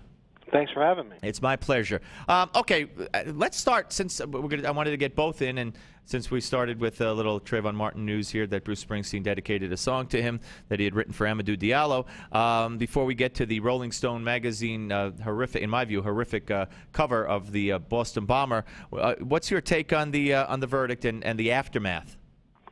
Um, I think part of what we're seeing is that there's a lot of emotion surrounding this verdict. And so um, people who wanted him to be convicted obviously are angry and frustrated. Um, people who, uh, you know, uh, were skeptical of the charges feel vindicated. And I think we're seeing a lot of people saying a lot of things about this verdict that may not necessarily uh, be true. Um, because the jurors aren't really talking a lot uh, about why they came to their verdict, one juror is talking anonymously to CNN, and uh, four others have released one statement. Um, it's hard to know what principles they use to come to their decision. So people who are saying this is about um, uh, stand your ground laws, or this is about um, um, Race. the fact that people can be racially profiled and we don't. Right. Uh, and and and and the and and police and and the officials don't do anything about it.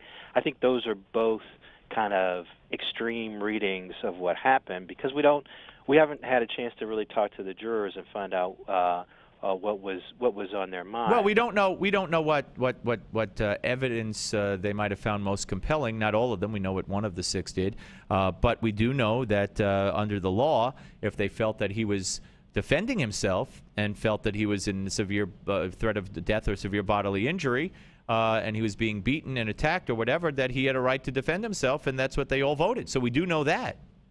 Um, we don't know why they voted to acquit. Not why. Well, we, Uh, we know. don't- well, wait, we no, know that's why- not true. We know that why they felt he defended we know himself. One, we know why one person says that she voted to acquit them, Well, and, and yeah. she says, uh, and she's and she's also saying that other people voted along those lines. But then they also released a statement saying this woman doesn't speak for us. I understand that. No, So no, we no, no, no, So but- we but- don't. So we don't necessarily know. But that. they what- voted- they we voted- know- wait, wait, they we voted not know- guilty. do We know know- that. What we do know.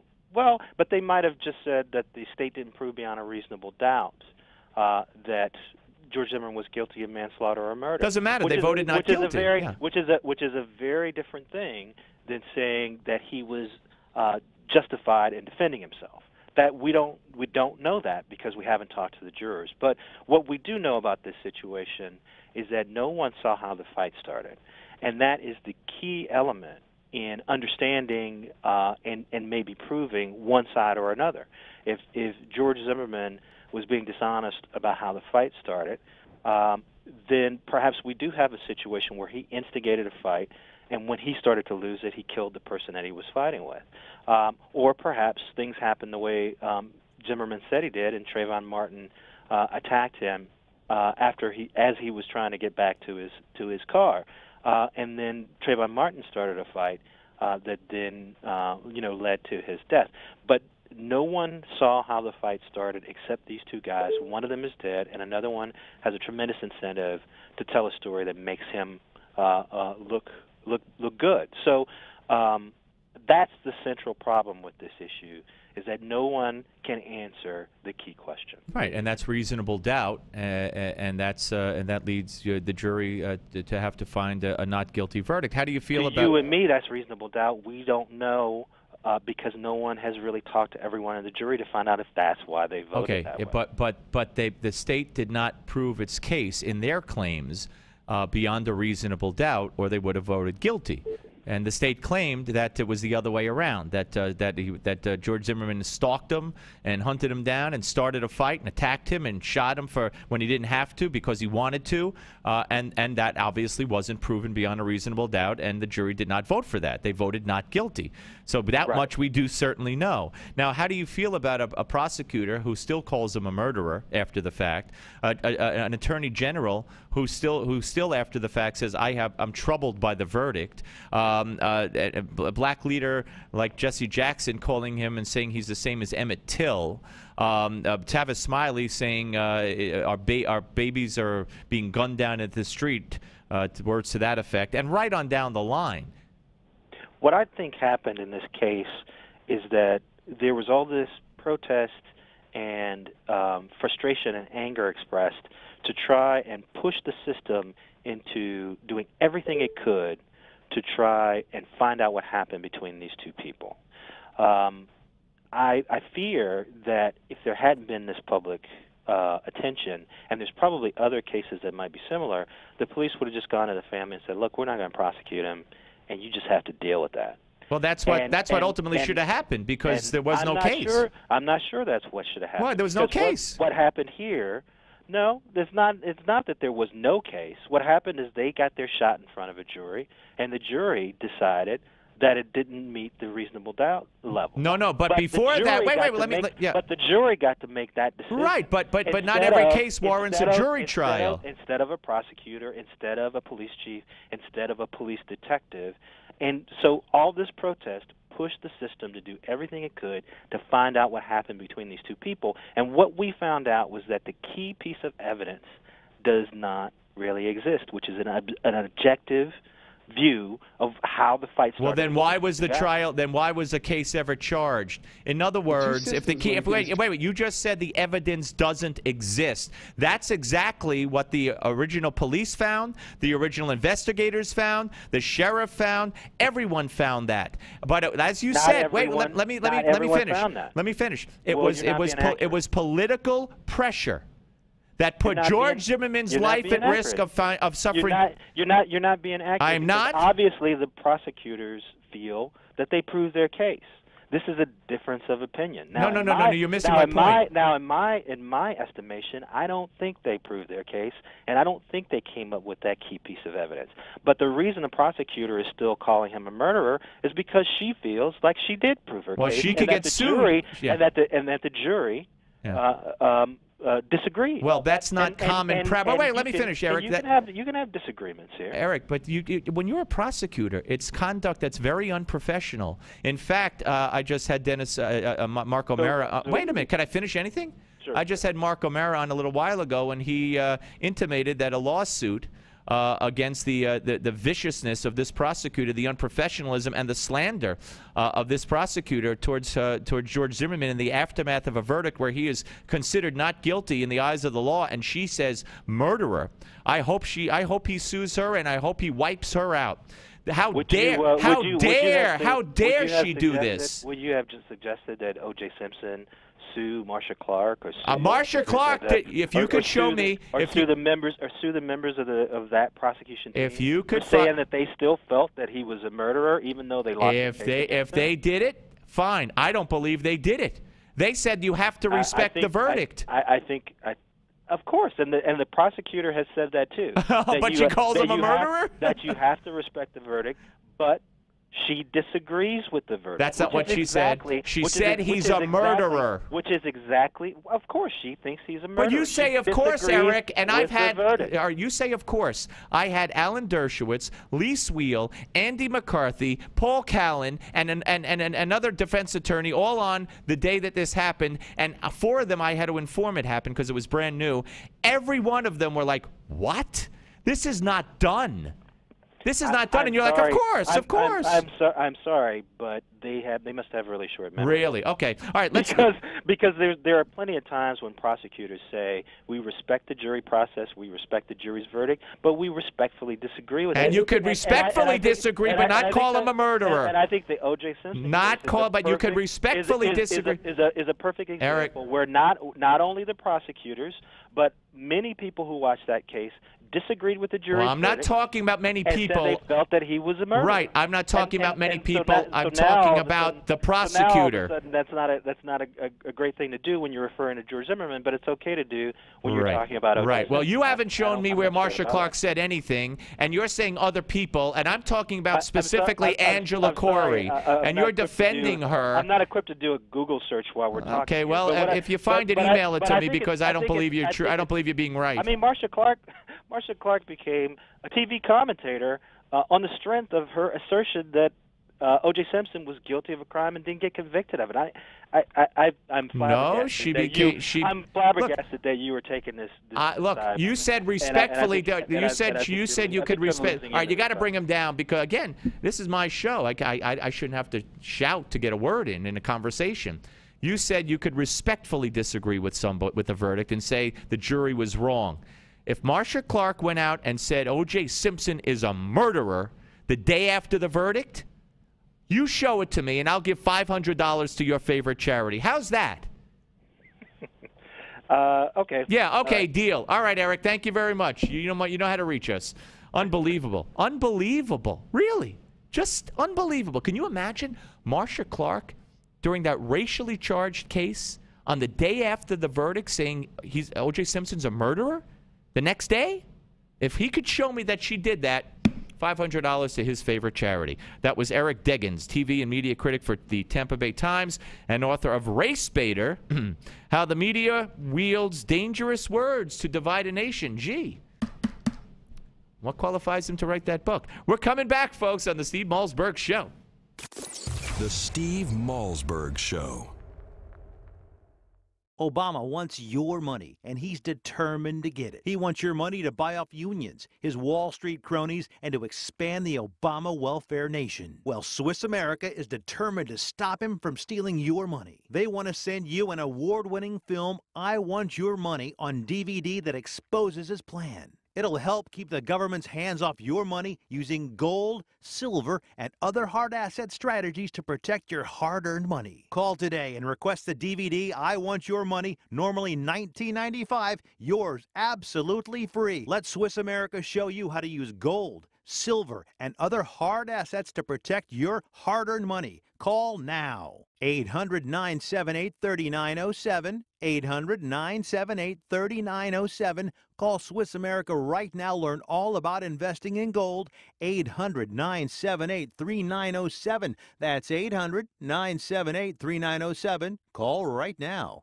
Attention, if you've been classified as a high risk driver due to DUI, DWI, or tickets for aggressive driving and are required to get expensive and hard to find SR22 auto insurance, then you must listen to this message because we can help. We're the largest insurance company in the U.S., specializing in SR22 auto insurance and focused on serving the needs of customers classified by the state as high risk drivers. We help people get back on their feet by providing easy to get, low cost SR22 insurance that anyone can afford. If you need SR22 auto insurance, or if you have it now and are paying too much, you need to call us today for your free quote at 800 836 4606. Our specialists are standing by waiting for your call. We understand people make mistakes, and we're here to help by making SR22 insurance easy to get and affordable for everyone. The call and quote are free. Call us now at 800 836 4606. That's 800 836 4606. Again, 800 836 4606. 606. You've heard the allegations on the news, and during the big game, pro football players have been using deer antler velvet to get a competitive edge. Banned at the London Games for its performance enhancing qualities. Forbidden in major sports leagues for being an unfair advantage to athletes. Deer antler velvet is now in stock and available to try for free for a limited time only. Athletes have been using it for years for increased strength, increased endurance, muscle mass stress reduction, and yes, greatly enhanced libido. Everyone's talking about this miracle substance so powerful it's being banned by professional sports organizations, but for a limited time, it's being made available to the general public. Best of all, you can try it for free by calling 800 678 5153. That's right, get Superior Velvet for free. If you're looking to boost your performance on the field and between the sheets, get the most powerful, proven product used by athletes for years now for free. Claim your free bottle today by calling 800 678 5153. That's 800 678 5153. Again, 800 678 5153. Do you owe the IRS?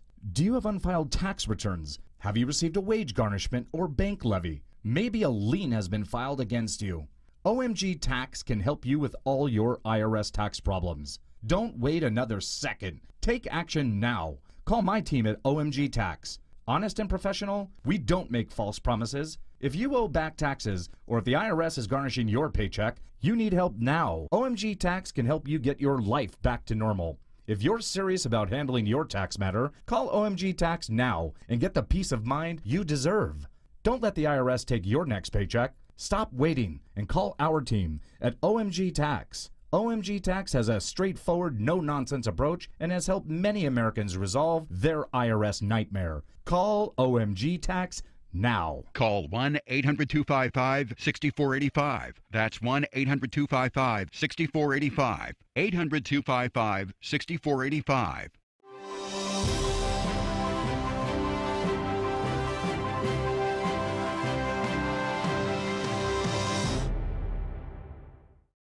Sure, Steve might be a bit of a hypochondriac, but he never gets sick of breaking news. This is the Steve Malzberg Show. Call Steve at 1 855 777 9660. That's 1 855 777 9660. Here's Steve Malzberg. All right, folks, we'll come back. Short segment, very short segment, because we went long in the last one. Daniel Pipes joins us next on the Steve Malzberg Show. Oh, I got 10 more seconds. Watch this. I'm going to take my time now. on the Steve Malzberg Show. The Steve Malzberg Show. Newsmax Magazine is proud to present a special tribute to our 40th president, Ronald Reagan.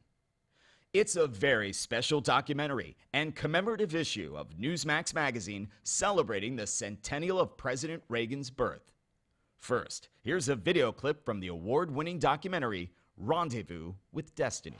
We're in the midst of a springtime of hope for America. You ain't seen nothing yet. Impulses of an evil empire. Tear down this wall. I believe that together we can keep this rendezvous with destiny. In the next several minutes, you will learn things about President Ronald Reagan that you've never seen, heard, or read before. Welcome to today's special Newsmax event celebrating the life and legacy of President Reagan. During this historic presentation, we will commemorate President Reagan's storied life. We'll revisit his two terms in office and recollect his proudest achievements and greatest challenges. Ronald Reagan's life reads like a fairy tale of success stories. He was an accomplished athlete, an honored veteran, a famous actor, the governor of California, and of course, our nation's 40th president. He called himself a citizen politician and only entered politics when he warned government was gaining too much power. By then, he was age 54 with a successful career behind him. Twice elected President of the United States, Ronald Wilson Reagan was a contradiction to some. Once a Democrat, then a Republican a champion of smaller government whose own government grew, a fiscal conservative who failed to balance the budget. His critics mistook his affability for weakness, but behind the smile and the charm existed an extraordinary leader with unique skills and bold and revolutionary ideas. We only had time to share just a few of the top defining moments in Ronald Reagan's presidency, but you'll get to see them all in Rendezvous with Destiny. By the way, the president's close relationship with the Pope is especially fascinating. You'll also learn how dealing with an alcoholic father helped shape Reagan's ability to negotiate. And if you ever wondered what the leader of the free world likes to get for the holidays, well, you'll find that out as well. So let's review today in this free offer we are sending you a copy of Ronald Reagan Rendezvous with Destiny and the collector's limited edition of our issue commemorating the 100th anniversary of President Reagan's birth. Right now, when you subscribe to Newsmax Magazine, you can own both the DVD and receive the special Reagan 100th Birthday Commemorative Edition. That's $25 in bonus gifts when you subscribe. Go to newsmax.com backslash Reagan13 to subscribe today. Join the millions who read Newsmax magazine every month. Actor portrayal potential customer experience. Your experience will vary. I was overwhelmed with credit card debt, losing sleep, worrying about money all the time. Creditors were hounding me night and day, and I didn't think there was any way I could ever get out of debt or get my life back. Then a friend told me about the Financial Solutions Group, and I found out all it took to get started was one free call. They really helped me get my life back. If you're like I was, you could see almost half or more of your credit card balances eliminated without the nightmare of bankruptcy or attorney's fees. And they didn't charge me any settlement fees till they reduced my debt. If you have more than $10,000 in credit card debt, this is your chance to get your life back. Make one quick free call today, right now, to see if you qualify qualify. 1 800 477 6802. That's 1 800 477 6802. Again, 1 800 477 6802. 1 800 477 6802.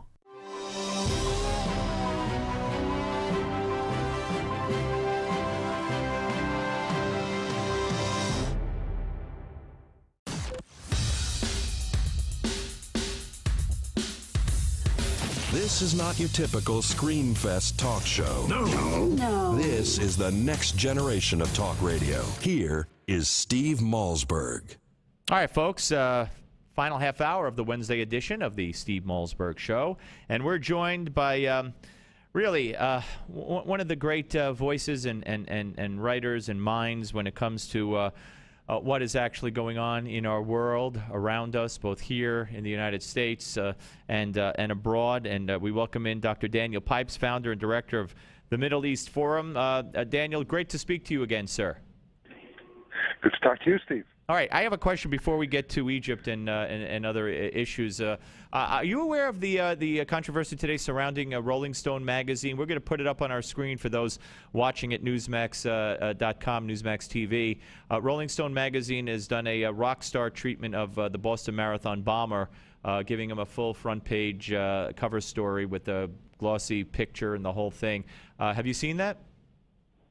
No, I haven't. I heard of it, but I haven't seen it. What's your What's your take on that? I mean, the, uh, uh, you know, uh, once Piers Morgan weighs in on Twitter and says it's a it's a journalistically speaking, it's a must-read, uh, a very uh, uh, you know urgent ur- urgently needed uh, piece that was written in Rolling Stone. Right away, I know it's bad, but I don't need Piers Morgan to tell me there's something really twisted and sick about that.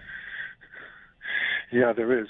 Well, in the immediate aftermath of his being apprehended, um, because he's a handsome young man, there was this flurry of um, kind of female reaction. You know, nice, nice-looking guy, and this shouldn't be happening to him. Uh, and then came the leftist reaction that, uh, wait a minute, you know, he, he's a victim. He's not a perpetrator. And I think this is a combination of those two urges.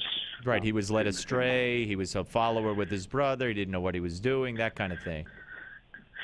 Yeah, I think the fact that he's, at least the picture we've all seen repeatedly of him, is, is a very handsome one, is a significant role here. For example, there was a parallel over a decade ago in 2002 with the Beltway snipers.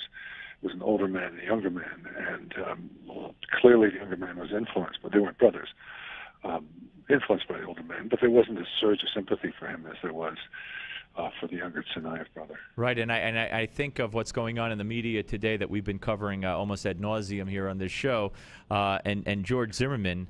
Uh, has to go into hiding if any magazine dared to put George Zimmerman on the cover in any uh, glorifying uh, you know, way of glorifi- glorifying him, and yet we have a, a, a, terrorist murderer, an Islamic terrorist murderer, who killed three people and and and and, and parallel, and, you know, and, and, and maimed many many more, uh, and and he gets on a cover of Rolling Stone magazine, and I haven't heard boo about it from the mainstream media. He's certainly not complaining about it. It's a good comparison, yeah. It's a telling one. All right, well, let's move on to uh, Egypt if we can, uh, Daniel. And, uh, you know, uh, you, I've read your, your pieces recently uh, about what's going on there, and we seem to be at a at least a media lull of sorts, uh, where uh, we're just uh, you know just uh, I guess treading water right now. But um, where do you think we're headed? I saw that I saw this administration just the other day, maybe yesterday, I forget. Not surprisingly in my mind, and I'm sure not surprising to you, issue a statement that if Egypt's going to move ahead with democracy and, and democratic elections, the Muslim Brotherhood must be included. It seems like they're still in a state of shock in the White House and the State Department that their beloved Muslim Brotherhood suffered uh, the defeat it suffered. And there's also this obsession with democracy, with process. Now, democracy is important, but there are times when democracy is not the most important thing. And when you have what is arguably the world's largest political demonstration ever anywhere take place, uh, you don't focus on democracy so much. Furthermore, I would argue, and I'm in a very small minority here, but I would argue that Morsi was not uh, properly elected, that it was fraud, that it took a week between his between the election back a year ago and his being announced to have 51.5% of the vote. It's an intricate subject. I won't go into it here, but I've never accepted, not the time and not now, that he actually won this election. I think the whole political process, the whole voting process in Egypt in 2011 and 12 was was fraught with with um, you know, with with problems.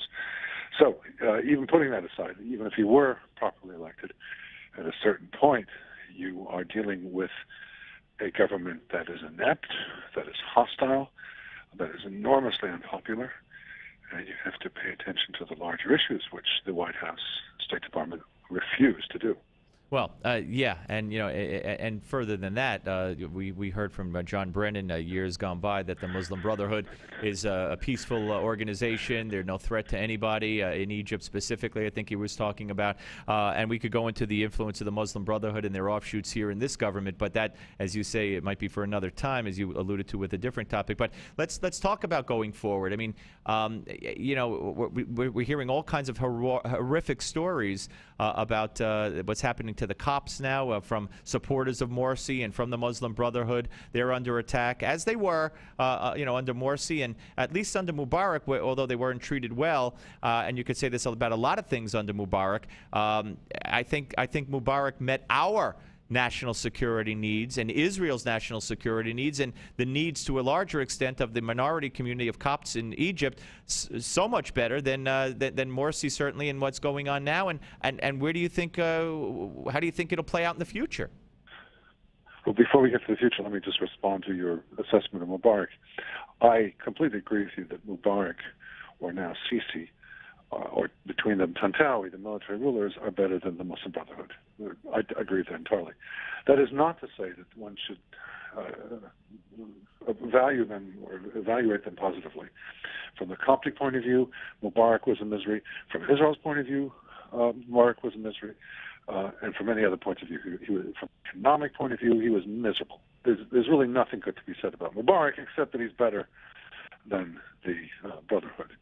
Uh, I, I don't think we should make this into glorify him. No, no, no, and, and, and let me make And- clear: I'm in no way glorifying a ruthless dictator, but I just, I just think that if for, i i i as compared to what we got and what the, the administration, our administration, probably knew we would get somehow, uh, I just think that they, you know, they would have been better off uh, uh, in the interest of the United States, and that's who we're supposed to be governing for when you're governing in this country. Uh, it might have been better to leave Mubarak alone. I could be wrong, but that's just my opinion. short term, but long term, there had to be something that took like what took place. There had to be a popular rebellion against a ruthless autocracy at a certain point. Egypt had been ruled for nearly 60 years by military dictators, and something first, and it and uh, we can still have hope that a better system will emerge than what was under and Mubarak. It was miserable. Uh, let's know, romanticize it. It was miserable. I could go on. Right, right. I can I can go on and on about how miserable it was, but yes, this Muslim Brotherhood is worse. Now, turning to the future, I, I have too much to say about it. Um, it is clear in the aftermath. It's only two weeks exactly since the uh, since Morsi was overthrown, so it's not much time. It's clear that the Muslim Brotherhood is not going gently into the night. That it is uh, use its formidable organizational skill to make trouble, to resist, to create uh, traffic jams, to uh, use violence, to try to take over control of the peninsula, and who knows what else they're about to do. But how far will they go? Will they really go for a full-scale civil insurrection?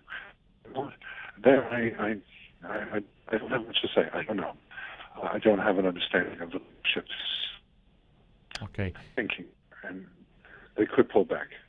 Okay. No. Uh, yeah. Well. Okay. Um, and uh, we're, we're, unfortunately, the cell phone's dropping out uh, a, a little bit. Uh, but always good to talk to you, Daniel, and I, uh, I appreciate it. And uh, we could read you at uh, at uh, danielpipes.org as well as uh, at the Middle East Forum. Correct? That's right. Okay. Thank you, Daniel Pipes, ladies and gentlemen, uh, founder and director of uh, the Middle East Forum, here on the uh, Steve Malzberg Show. I'm watching also out of the corner of my eye. Of course, the myth continues to perpetuate. Jesse Jackson uh, uh, talking about uh, debating uh, the stand your ground laws, which again, I don't know why we're debating stand your ground laws. It had nothing to do with the Martin case. Nonetheless, um, saying that Jess Jackson saying that Zimmerman pursued Trayvon Martin against the wishes of the dispatcher. Of course, this has become such such a myth and I, I know I harp on it all the time, but I, I, it just amazes me. Are these people, do they really believe it? Well, I guess they could really believe it. Because Alveda King believed it until I corrected her. That, you know, he was told not, he, they, they told him not to get out of the car. Now, Jackson didn't say that, but he did not pursue against the wishes of the dispatcher. Again, the dispatcher testified in court that, yes, by asking George Zimmerman to tell me what else he's doing, do you see him doing anything else? Could have, in fact, been interpreted by George Zimmerman to follow him, to answer that question, right? Uh, and, of course, we all know that when he was asked, Are you following him? he was already following him. And when he was told, We don't need you to do that, he said, Okay. And then, according to George Zimmerman, that's when he turned around to go back to his car, and that's when he was hit. So where this comes from, that he he followed him against the orders, he was told, "Don't get out of your car." It's just fiction. And I harp on it because it's such a key part of the whole prosecution's theory and all these so-called civil rights leaders' theory that oh, if he just obeyed orders and stayed in his car, none of this would have happened. Well, he was never told to stay in his car. It's a little, you know, technicality, I guess. But if your whole case is premised on the fact that he disobeyed orders and got out of his car, and he was never told to stay in his car and didn't disobey orders, then you really have no case. So that's why I harp on it because I, I can't stand the disinformation, the misinformation, the lies, the stupidity of it all. I mean, for crying out loud, listen to the tape. It's about two minutes long.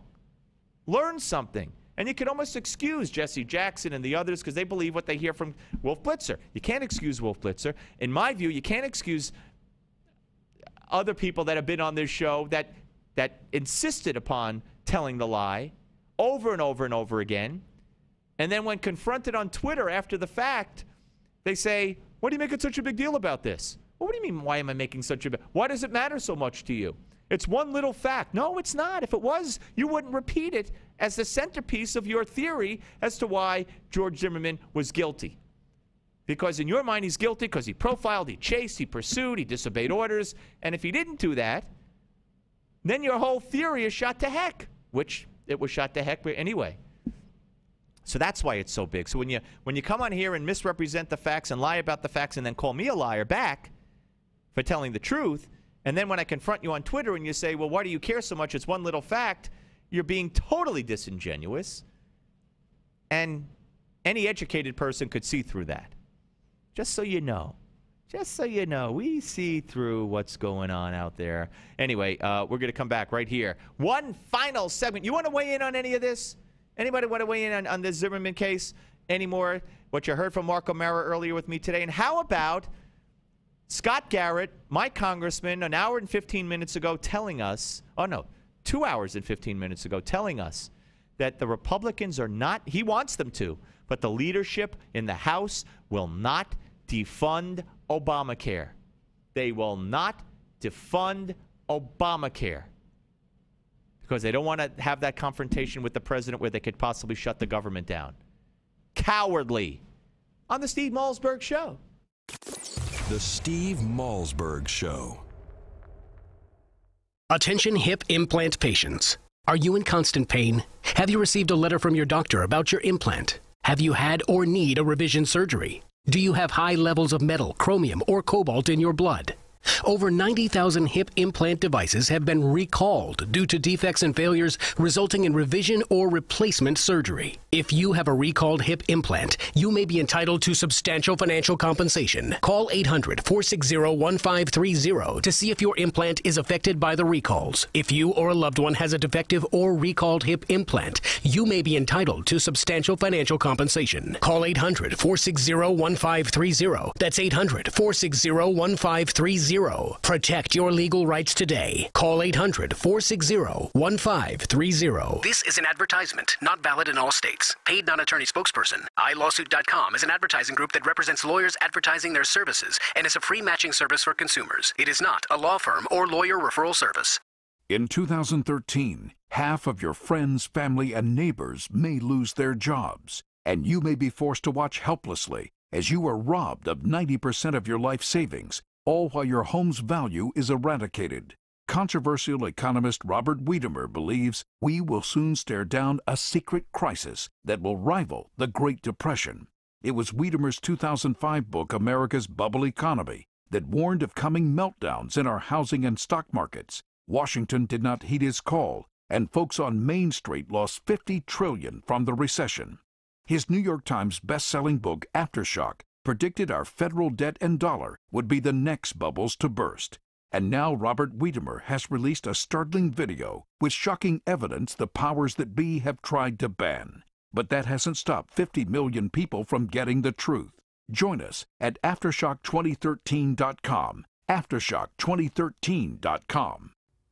Hi, this is Mike Reagan. Folks ask me, what would Ronald Reagan do if he were with us today? I believe the first thing he'd do is stop Obamacare. Already it's in effect with higher taxes, hidden fees, skyrocketing insurance rates, big Medicare cuts, and some insurance plans are hit with a 40% tax. Protect yourself by getting the Obamacare Survival Guide. It's already a number one New York Times bestseller. Newsmax says it's the best guide to the new law, giving you the strategies, tips, and loopholes you need to know. If you're insured on Medicare, a business owner, a medical professional, just about anyone, you need this book. Get the number one bestseller, The Obamacare Survival Guide, at bookstores everywhere. Or get our special $4.95 offer and save $15 off the cover price. Scroll down now to claim your copy of Obamacare Survival Guide for the special internet offer of only $4.95. This is the worst weather we've seen in quite some time, folks, and I don't see any end in sight. People have been calling in from across the state complaining their basements are flooding. One guy said he now has an indoor swimming pool in his basement. I told him he needs the waterproofing innovations from Basement Systems. If you want a dry basement or crawl space that will weather any kind of storm, you need the patented solutions from Basement Systems. You've seen them on home makeover shows throughout the country. With a lifetime warranty, every solution is custom designed for your basement. You can finally have that room you've always wanted with our total basement finishing system. Call now for a free estimate, and you'll never have to worry about storms like these again. Call now for your free basement inspection at 800 516 9794. 800 516 9794. Learn how to waterproof your basement now. Call this number 800 516 9794. 800 516 9794. 150 million people suffer from headaches. All you want is for the pounding in your head to stop. Migralex stops the pounding. Migralex was developed by a neurologist and founder of the New York Headache Center. I'm neurologist Dr. Alex Mauskop. After studying and researching the human brain for 25 years, I've developed Migralex, which eliminates pounding headaches. It works for my patients, and I'm so convinced it will work for you. I don't just guarantee it, I put my name on it. Dr. Mauskop's Migralex gets rid of headaches fast without harsh caffeine, sodium, or preservatives. Migralex works unbelievably fast, and it's gentle on my stomach. Find out how to get your free bottle of Migralex. Call 800 532 2967. Plus, if you're one of the first 100 callers, you'll also receive the Migralex Quick Tips to Headache Relief absolutely free. That's 800 532 2967. Or go to migralexrelief.com. M I G R A L E X relief.com. Or call 800 532 2967.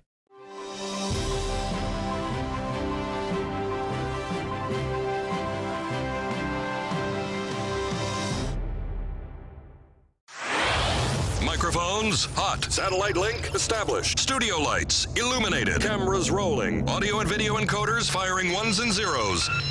Internet stream um is streaming. The most technology advanced radio show is on the air. Here's the captain of this enterprise, Steve Malzberg. All right, folks. Um, got an interesting, uh, interesting story. Uh, you know that uh, Edward Snowden uh, either has officially or says he's going to, or it appears that he wants to stay in Russia.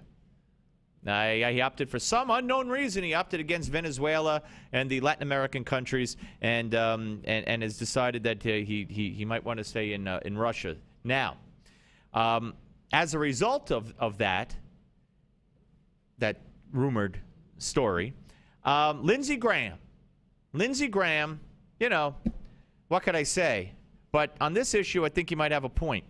Uh, Lindsey Graham, South Carolina Republican, told The Hill that he would support a boycott, a boycott uh, of the Olympics over Snowden, if in fact um, they allow him to have uh, refuge in Russia. John Boehner, coward, coward, John Boehner. That's what I'm going to call him from now on. Congressman Coward, Speaker Coward. If my Congressman Scott Garrett is right, and that leadership of the Republicans in the House will not defund any aspect of Obamacare because they fear Obama will veto that in a general budget and it'll bring about a shutdown of the government.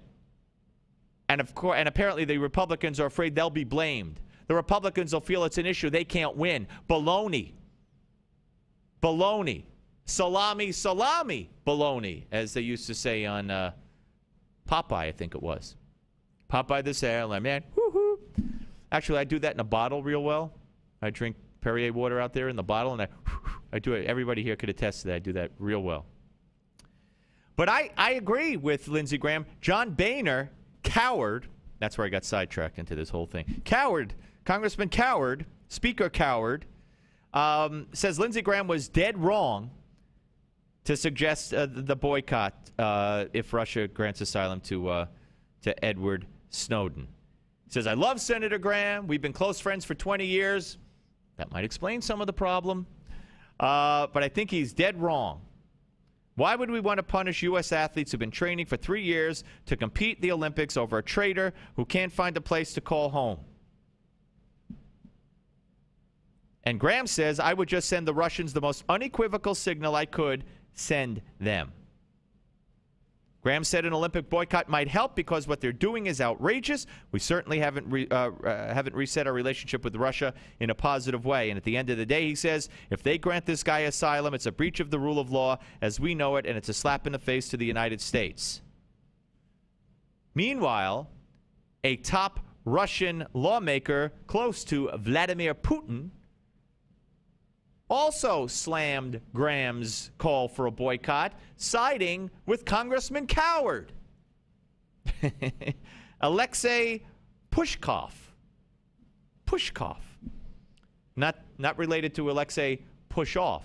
This is Pushkov. Um, head of the, uh, the uh, Duma's Foreign Affairs Committee told Russia's RIA Novosti Senator Graham's calls for boycott uh, to boycott the Olympic Games because of the Snowden affair kicks us back to the remote past, to the times of mutual boycotts when our two countries looked at each other through, figuratively speaking, nuclear sight. Whoa. Whoa. Um, and Putin said today that U.S. Russian relations are, quote, far more important than the dispute over Snowden. I remember the boycott. I remember the price our athletes had to pay when they boycotted the when we boycotted the Olympics. You remember the boycott? I understand that athletes have trained. I understand that. But sometimes, Congressman Boehner, sometimes, Mr. Speaker, and this is not to defend Lindsey Graham. Believe me, the last thing I want to do is defend Lindsey Graham. But sometimes, Congressman, you have to take a stand. And by taking that stand, there will be repercussions. Things will happen that might not be easy, that might not be easy to deal with, and that not everybody's going to like and not everybody's going to praise you for doing. But sometimes you've got to take that stand. And you don't want to take that stand here or threaten to take that stand here the way Lindsey Graham does, do you, Congressman? Oh, no, no, no, no. This isn't big enough for that. He's just a traitor. And if the Russians spit in our face and give him asylum, why should we want to punish the Russians back? Nah, nah, Niet. Niet. Why don't you say niet, Congressman Boehner? That would endear you to the Russians. Niet. Now, don't you see a little consistency here based on what we found out from Scott Garrett today? Boehner doesn't want to, nah, yet, to a possible Olympic boycott. And yet,